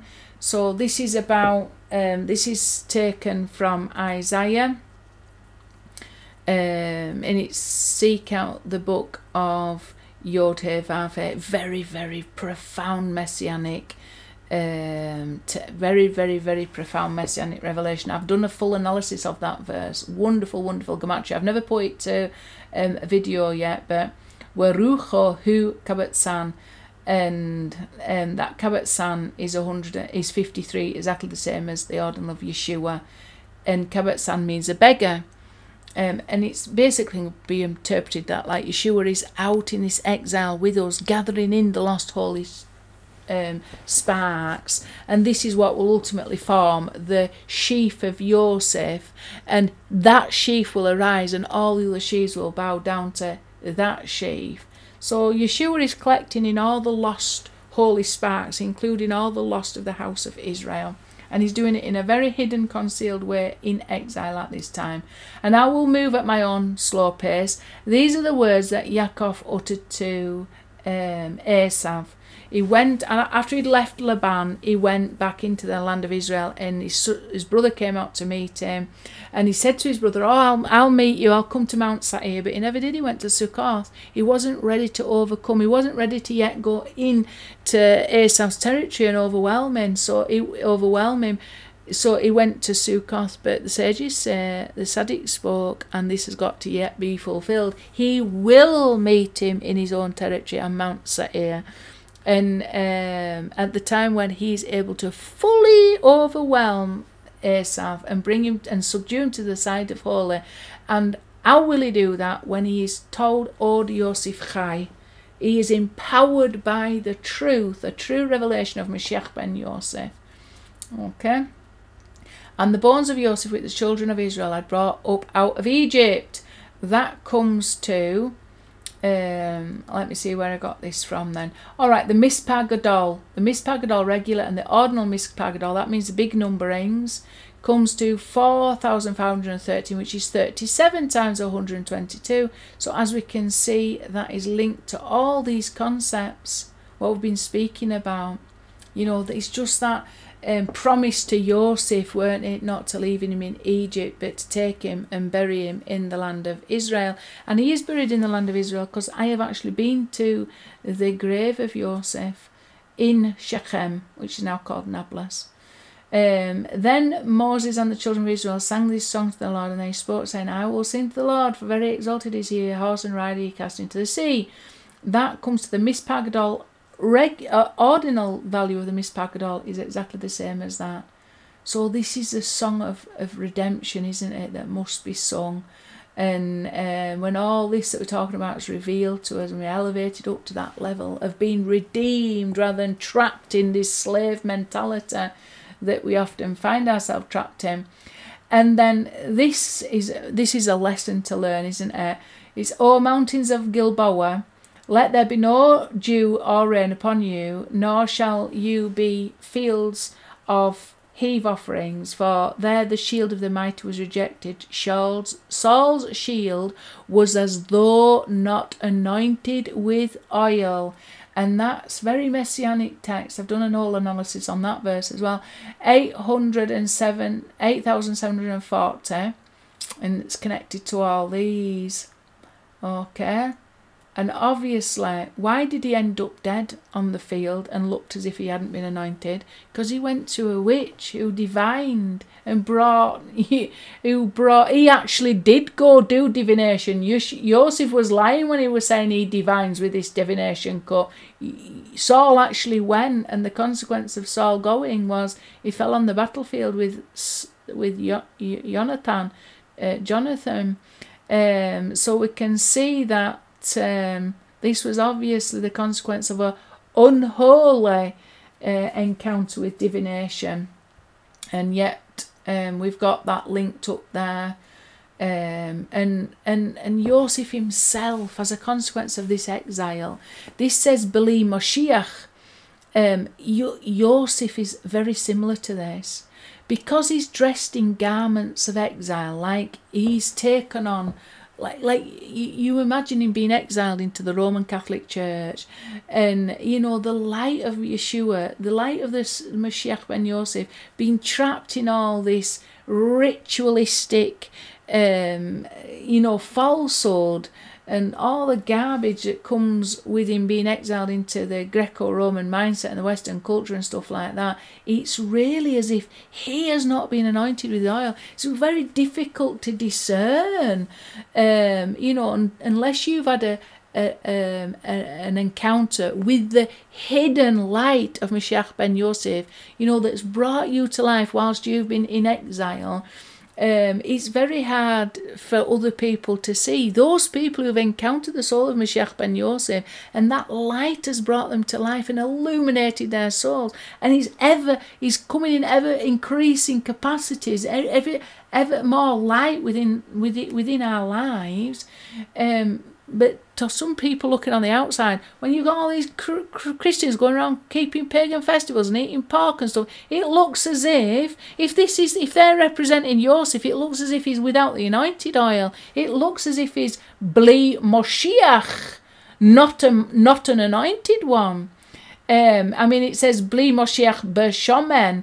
Um, um, but them words there, believe Moshiach, it, it's just without Moshiach. With it looks like Yosef at this time, Moshiach ben Yosef, is not anointed as Moshiach. It looks as if he's actually the opposite. You know, when you when you look at the way that he's been dressed for the last two thousand years, you know, putting on Nazi officers' uniform and going and killing Jews in the name of Jesus as crusaders and stuff like that. It's very much as if we're dealing with something other than Mashiach ben Yosef, it looks like we're actually dealing with Satan. And to all intents and purposes, it is. You know, um, he has descended into an exile that is very, very, very, very dark. And it is a is left a very, very, very dark history. And that is why we need to be overwhelming this reality with the truth because you imagine that's the only power when we see that it's only Yod Vavi that has been given us a very, very difficult work to do um, to subdue these forces of evil and subdue these forces of Shecha, and to be able to reach that place where we say, Od Yosef Chai and in Od Milvador, there is nothing except Yod He um, we will be thankful that we were given such an opportunity to battle against these forces. But when we are battling with them up front, it's very difficult to see. It's only when we actually subdue those forces and look back and have the hindsight that we have now got that we and then we can see that there's only your the Od Yosef Chai and Enod Milvador. Okay. Okay, let's just go out and have another look at this um, divination because if we just drop, drop it down to the actual divination words, Nachesh, yeah, Nachesh, this reveals some extraordinary stuff as well, because it's really a revelation. It's all code name for telling them, it was telling them he's the Mashiach. Look at this. So divines, 76, 7,000, um, 726, 96, regular, sorry, 96 ordinary, together they come to 822. 726 is 2 times 363, which is 2 times Hamoshiach, the Moshiach. Okay, so it was basically coded message. Um, Leviathan again comes in here. The stats, um, uh, what is that? Squared ordinal, sorry, of each letter in the word Leviathan, 960. So we can see a link to that, that's 10 times. So we can see again a link, this concept of um, Leviathan that's very much related to the concept of Metatron, isn't it? It's the unholy um, opposite the supernal da'ath that we should have if we had the truth, the Od Yosef Chai, regarding the concept of the Mashiach okay, this channel between heaven and earth, and some, somehow we've not got the truth, we haven't got the knowledge um, in this state of exile. We're in a place of rectifying that. Um, so we've got these unholy opposites usually in charge, like metatronic mindsets and uh, things like that. For 70 years, like the days of one king, this, according to the Talmud, the one king is the Mashiach, by the way. So again, we've got uh, hints to the concept of Mashiach. I'm just going to go through this quite quickly because uh, we've gone through enough now. It's just really backing up what I've already said. And not erase his name. So we want to get, and that's Yemacha HaMashiach. There, the, those light, highlighted in red, the exact same letters there, HaMashiach. Welo Yemacha Shemo, and not erase his name. Not erase whose name? Well, the the Mashiach's name, but it has been erased, doesn't it? And 446 comes to Ha'ameth. 95 is Hamelech. 541 is Yisrael. So the king of Israel in truth is the one uh, which shouldn't be a name erasing his name so that we can have the true king of Israel revealed. It was it was um, Sheikh Ben David when he's fully fully revealed. Right. Instead, we've got this situation. Yemach Shemo with Zikro. Zichro, this is in exile. May his name be erased on his memory. The name of Yeshua has been erased. Rabbinic Judaism, they're taking the letter Ayin out. So this comes to 643, 121, and that together comes to 764.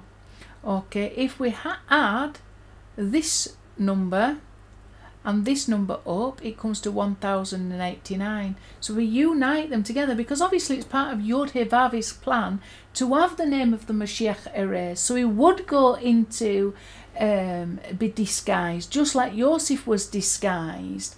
Okay, in order for us to toil and overcome our egos, in order to reveal the truth that Od Yosef Chai okay all the things I've been speaking about so 1089 those two added together um, that's the final revelation of the King of Israel, isn't it? But in the meantime, we've got Sheikh ben Yosef suffering in exile with us until we overcome the forces of the evil inclination and all the forces of darkness that would subdue him, like Metatron and Leviathan and uh, you have Levan kind of mentalities we need to get to the redemptive mentalities where the Mashiach is there instead of all these forces of concealment.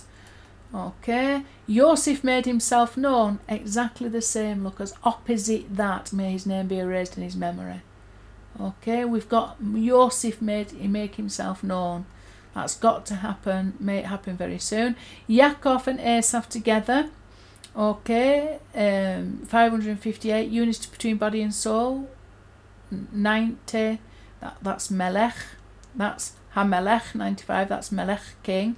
So we want him to reveal the king, who is the ultimate king, Yod And then if we add these two up, which is Yaakov rectified with the additional Vav, which we've come across in these teachings before, plus Esav there, unified, the rectified Yaakov unified with Esav comes to 564, and but it's an ordinal of 96. Okay, and these well, might be some more numbers. This 564 this is the concept that uh, I've been talking about. Yod made one opposite the other. Okay, so for everything unholy, sorry, sorry, for every holy force, you've got an unholy opposite counterforce. Why? So it maintains free choice. We have got to have free choice. We have got to choose good and reject evil. That's what we've got to do. We've got we have got a free choice. In order to make a free choice, you can't make holiness obvious. You can't just slap it in people's faces. That's why it's concealed. Okay, and that's why you've got opposite forces, forces of concealment that hide the revelation of the truth. My name is within him. This refers to Metatron. This is the angel of the Lord, which says obey him because my name is in him. Shmi Bir Kabor and the name that is within him is Shaddai. Okay, that's according to the commentaries. That's according to what the sages say. So this refers to Metatron, and we can see the link here, can't we? Until this is established, the unity between Yaakov and Esav, the subduing of the evil inclination, subduing of the body to the soul, we've got Metatron there instead. this will bring a revelation of Mashiach and until then, we've got Metatron, the angel of the Lord with his name in his slave instead of a king. And then angel of his face. This is another appellation for Metatron. That comes to 96. So again, until we've got unity between body and soul, between Israel and nations, between female and male, between heaven and earth, between there's all kinds of ways of saying the same thing. Okay, Mashiach of Yod Vafe, this is this um, that should be there's, there's an extra mem on there. It should be just Mashiach of Yotevave so I'll just correct that okay so it's corrected now Mashiach of Yotevave these are the ordinals squared ordinals of each letter Moshiach Yod Yotevave comes to 960 so we can see a clear link What's opposite Levi- What's opposite the Mashiach of Yod Hevave, Leviathan? So the Mashiach of Yod Hevave, like I said, is is a is supernal da'af. It's what's revealed in the mind of God. But this is what we've got instead. Leviathan, revealed in the minds of our fantasy fiction version of Mashiach. You know, um, it's a concealment rather than a revelation. Um, and the tree of knowledge where it had the ath. So again, we've got that connection to the tree of the knowledge, supernal da'ath. The mispagadol of that is 96. The mispagadol ordinal, should I say, is 96. So that's connected to all that. For dogs have surrounded me. Okay, so that is connected up to this um, divines. Nachesh, ye nachesh. Okay, so obviously, whilst Joseph's hidden, um, you know, he's suffering in exile, isn't he? He's suffering away from his father, he's away from all the holy links, you know, suffering in, in exile in all these stupid ways into which we've caused him to descend, like all the rituals of the Catholic Church, all the Christian rituals, all the ways he's descended into Erev Rav doctrination as well. It's just foul and awful. Um, that should actually have a calf in front of it. Sometimes what happens is when I copy it in the Hebrew, for some reason it drops the first letter. so that's ki sevovune kelavim. Okay. And then the light of the moon shall be like the light of the sun, and the light of the sun shall be sevenfold as the light of the seven days. On the day the Lord shall bind the fracture of his people, and the and the stroke of their wound he shall heal. Heal. That comes to 822. We await that day, don't we? You know, we await that day, which is opposite this. The power of, um, you know, the power of the Mashiach to be revealed. That's what we're waiting for, and the healing that will come as a consequence. May that day come quickly. Right, going back to this here, the 189 and the concept of the Mashiach, we've got I, I am the Lord, and besides me there is no Saviour. That's from Isaiah 43 11. Basically, there is no Saviour except that that he and but his salvation, the salvation of Yod is revealed through the concept of Mashiach, okay? Because it comes to 1089, which is exactly the same as this. This is what re- reveals the salvation, the Yeshua of Yod okay? Um, and it's and it's also related to um, the sheaths um, 363 is 3 times 121. So this is the sheaf, like Yosef said, my sheaf arose. Um, and it's all just all just so glorious you know it's all linked up and it's all wonderful so the con the salvation of Yod He is a revelation of Mashiach ben Yosef with his name erased and then that time where is fully revealed and his name fully uh, restored. To the glory of the name Yod by the way. Right, just one more look at this Master of the Shabbat. Um, for the Son of Man, he is the Master of the Shabbat. We're going to have a look at this number here. The Mispah Gadol of this, if we add up, I mean, there's so many numbers I could look at. I can't possibly do them all. Right, um, let's have a look at this one then the the Mispah Gadol, the regular and the ordinal added up, and that's R light. 270 is light, comes to 3,582, which is 6 times 597. Okay, if we add this up and this number here, which is, um, we get that from the regular plus the Mispah Gadol, comes to that. If so, if we add that up and that up, we've got this number here. Okay, so let's go and have a look what they are then.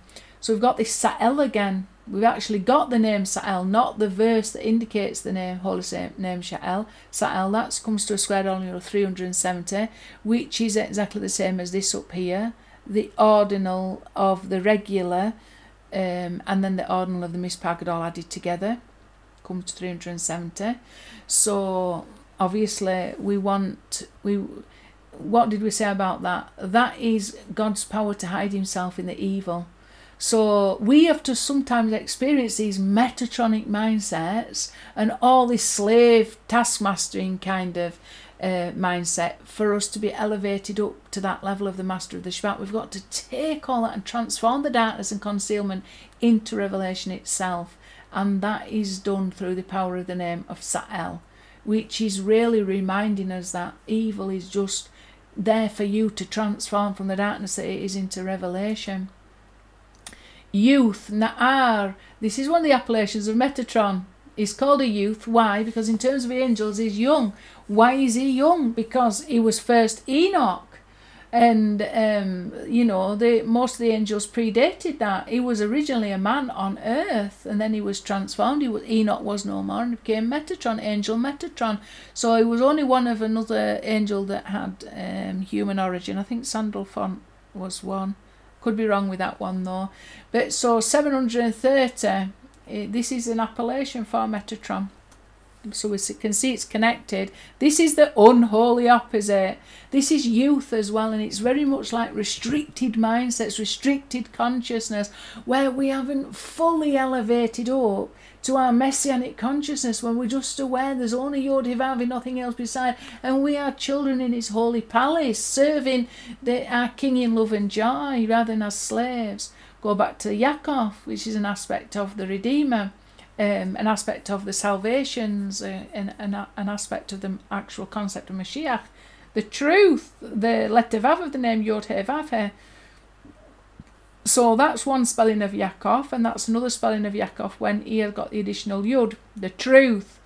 Add them together, 370, which is 10 times 37, 10 times Yeshu. That is Mashiach ben Yosef suffering in exile with his name erased. Okay, 47, these are the ordinals of Yaakov. 47 and 53. 53 is also the ordinal of Yeshua. Comes to 100. Add them both up together, they come to 470. Okay. Um, a tree of the field. Right, so a tree of the field, we've already gone through this concept, haven't we? Man is a tree of the field. Um, so our all experience in our lives, trying to reveal the holy name Yodevavi and trying to ascend, even though we're trapped in this physical reality, for our, our soul to ascend and ascend and ascend. Still, whilst we're even trapped in this physical reality, to the heights where we attain those levels where we ourselves can be like masters of the Shabbat, we are not subservient to these slave mentalities. We are like um, liberated and redeemed from them. So, but we've got to experience life. You know, we have got to experience, we're like a tree in the field of life. Right, so that's connected to that.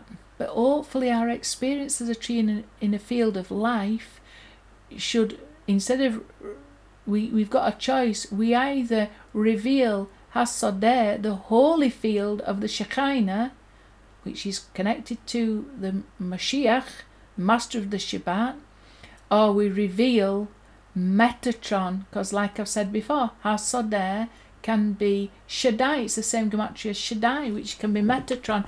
What's our experience in our lives going to reveal the truth about um, Mashiach ben Yosef or Yosef Chai? A revelation of the Mashiach or a revelation of Metatron? It's our choice.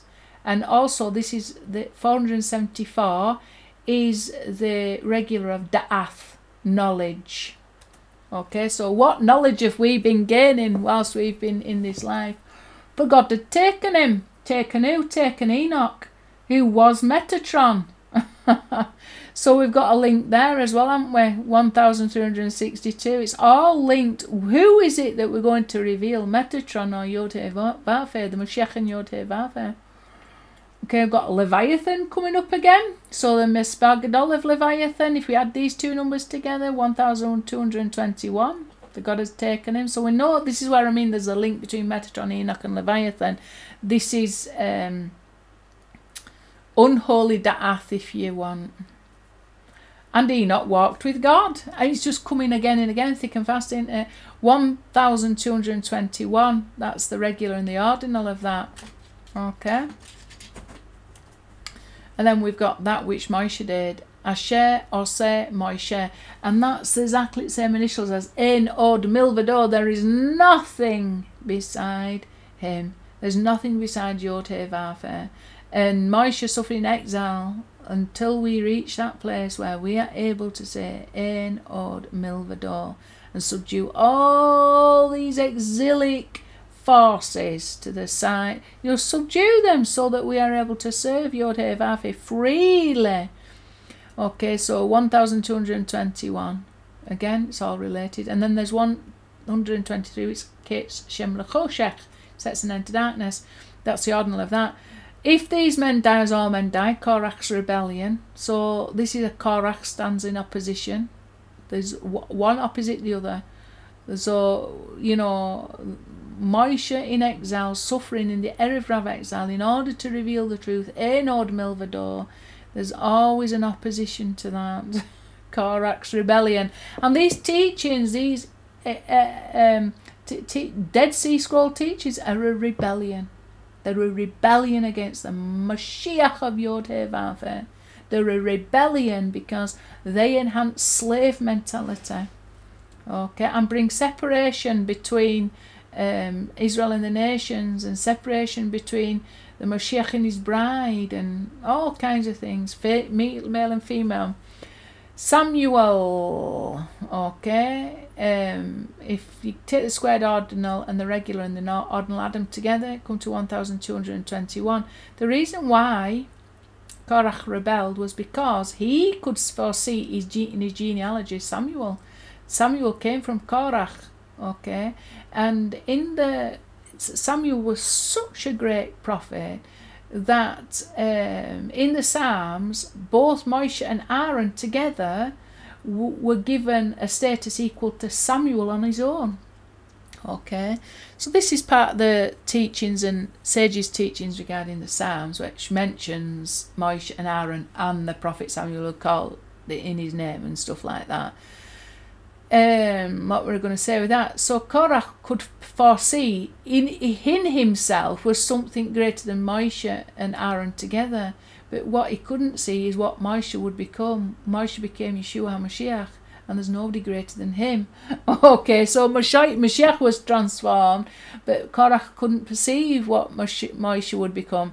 So uh, a whole, uh, you know, the earth, the, there was the mouth of the earth that swallowed Korach and in um, oh, where is it now? Ethics of the Fathers. It's called um, a.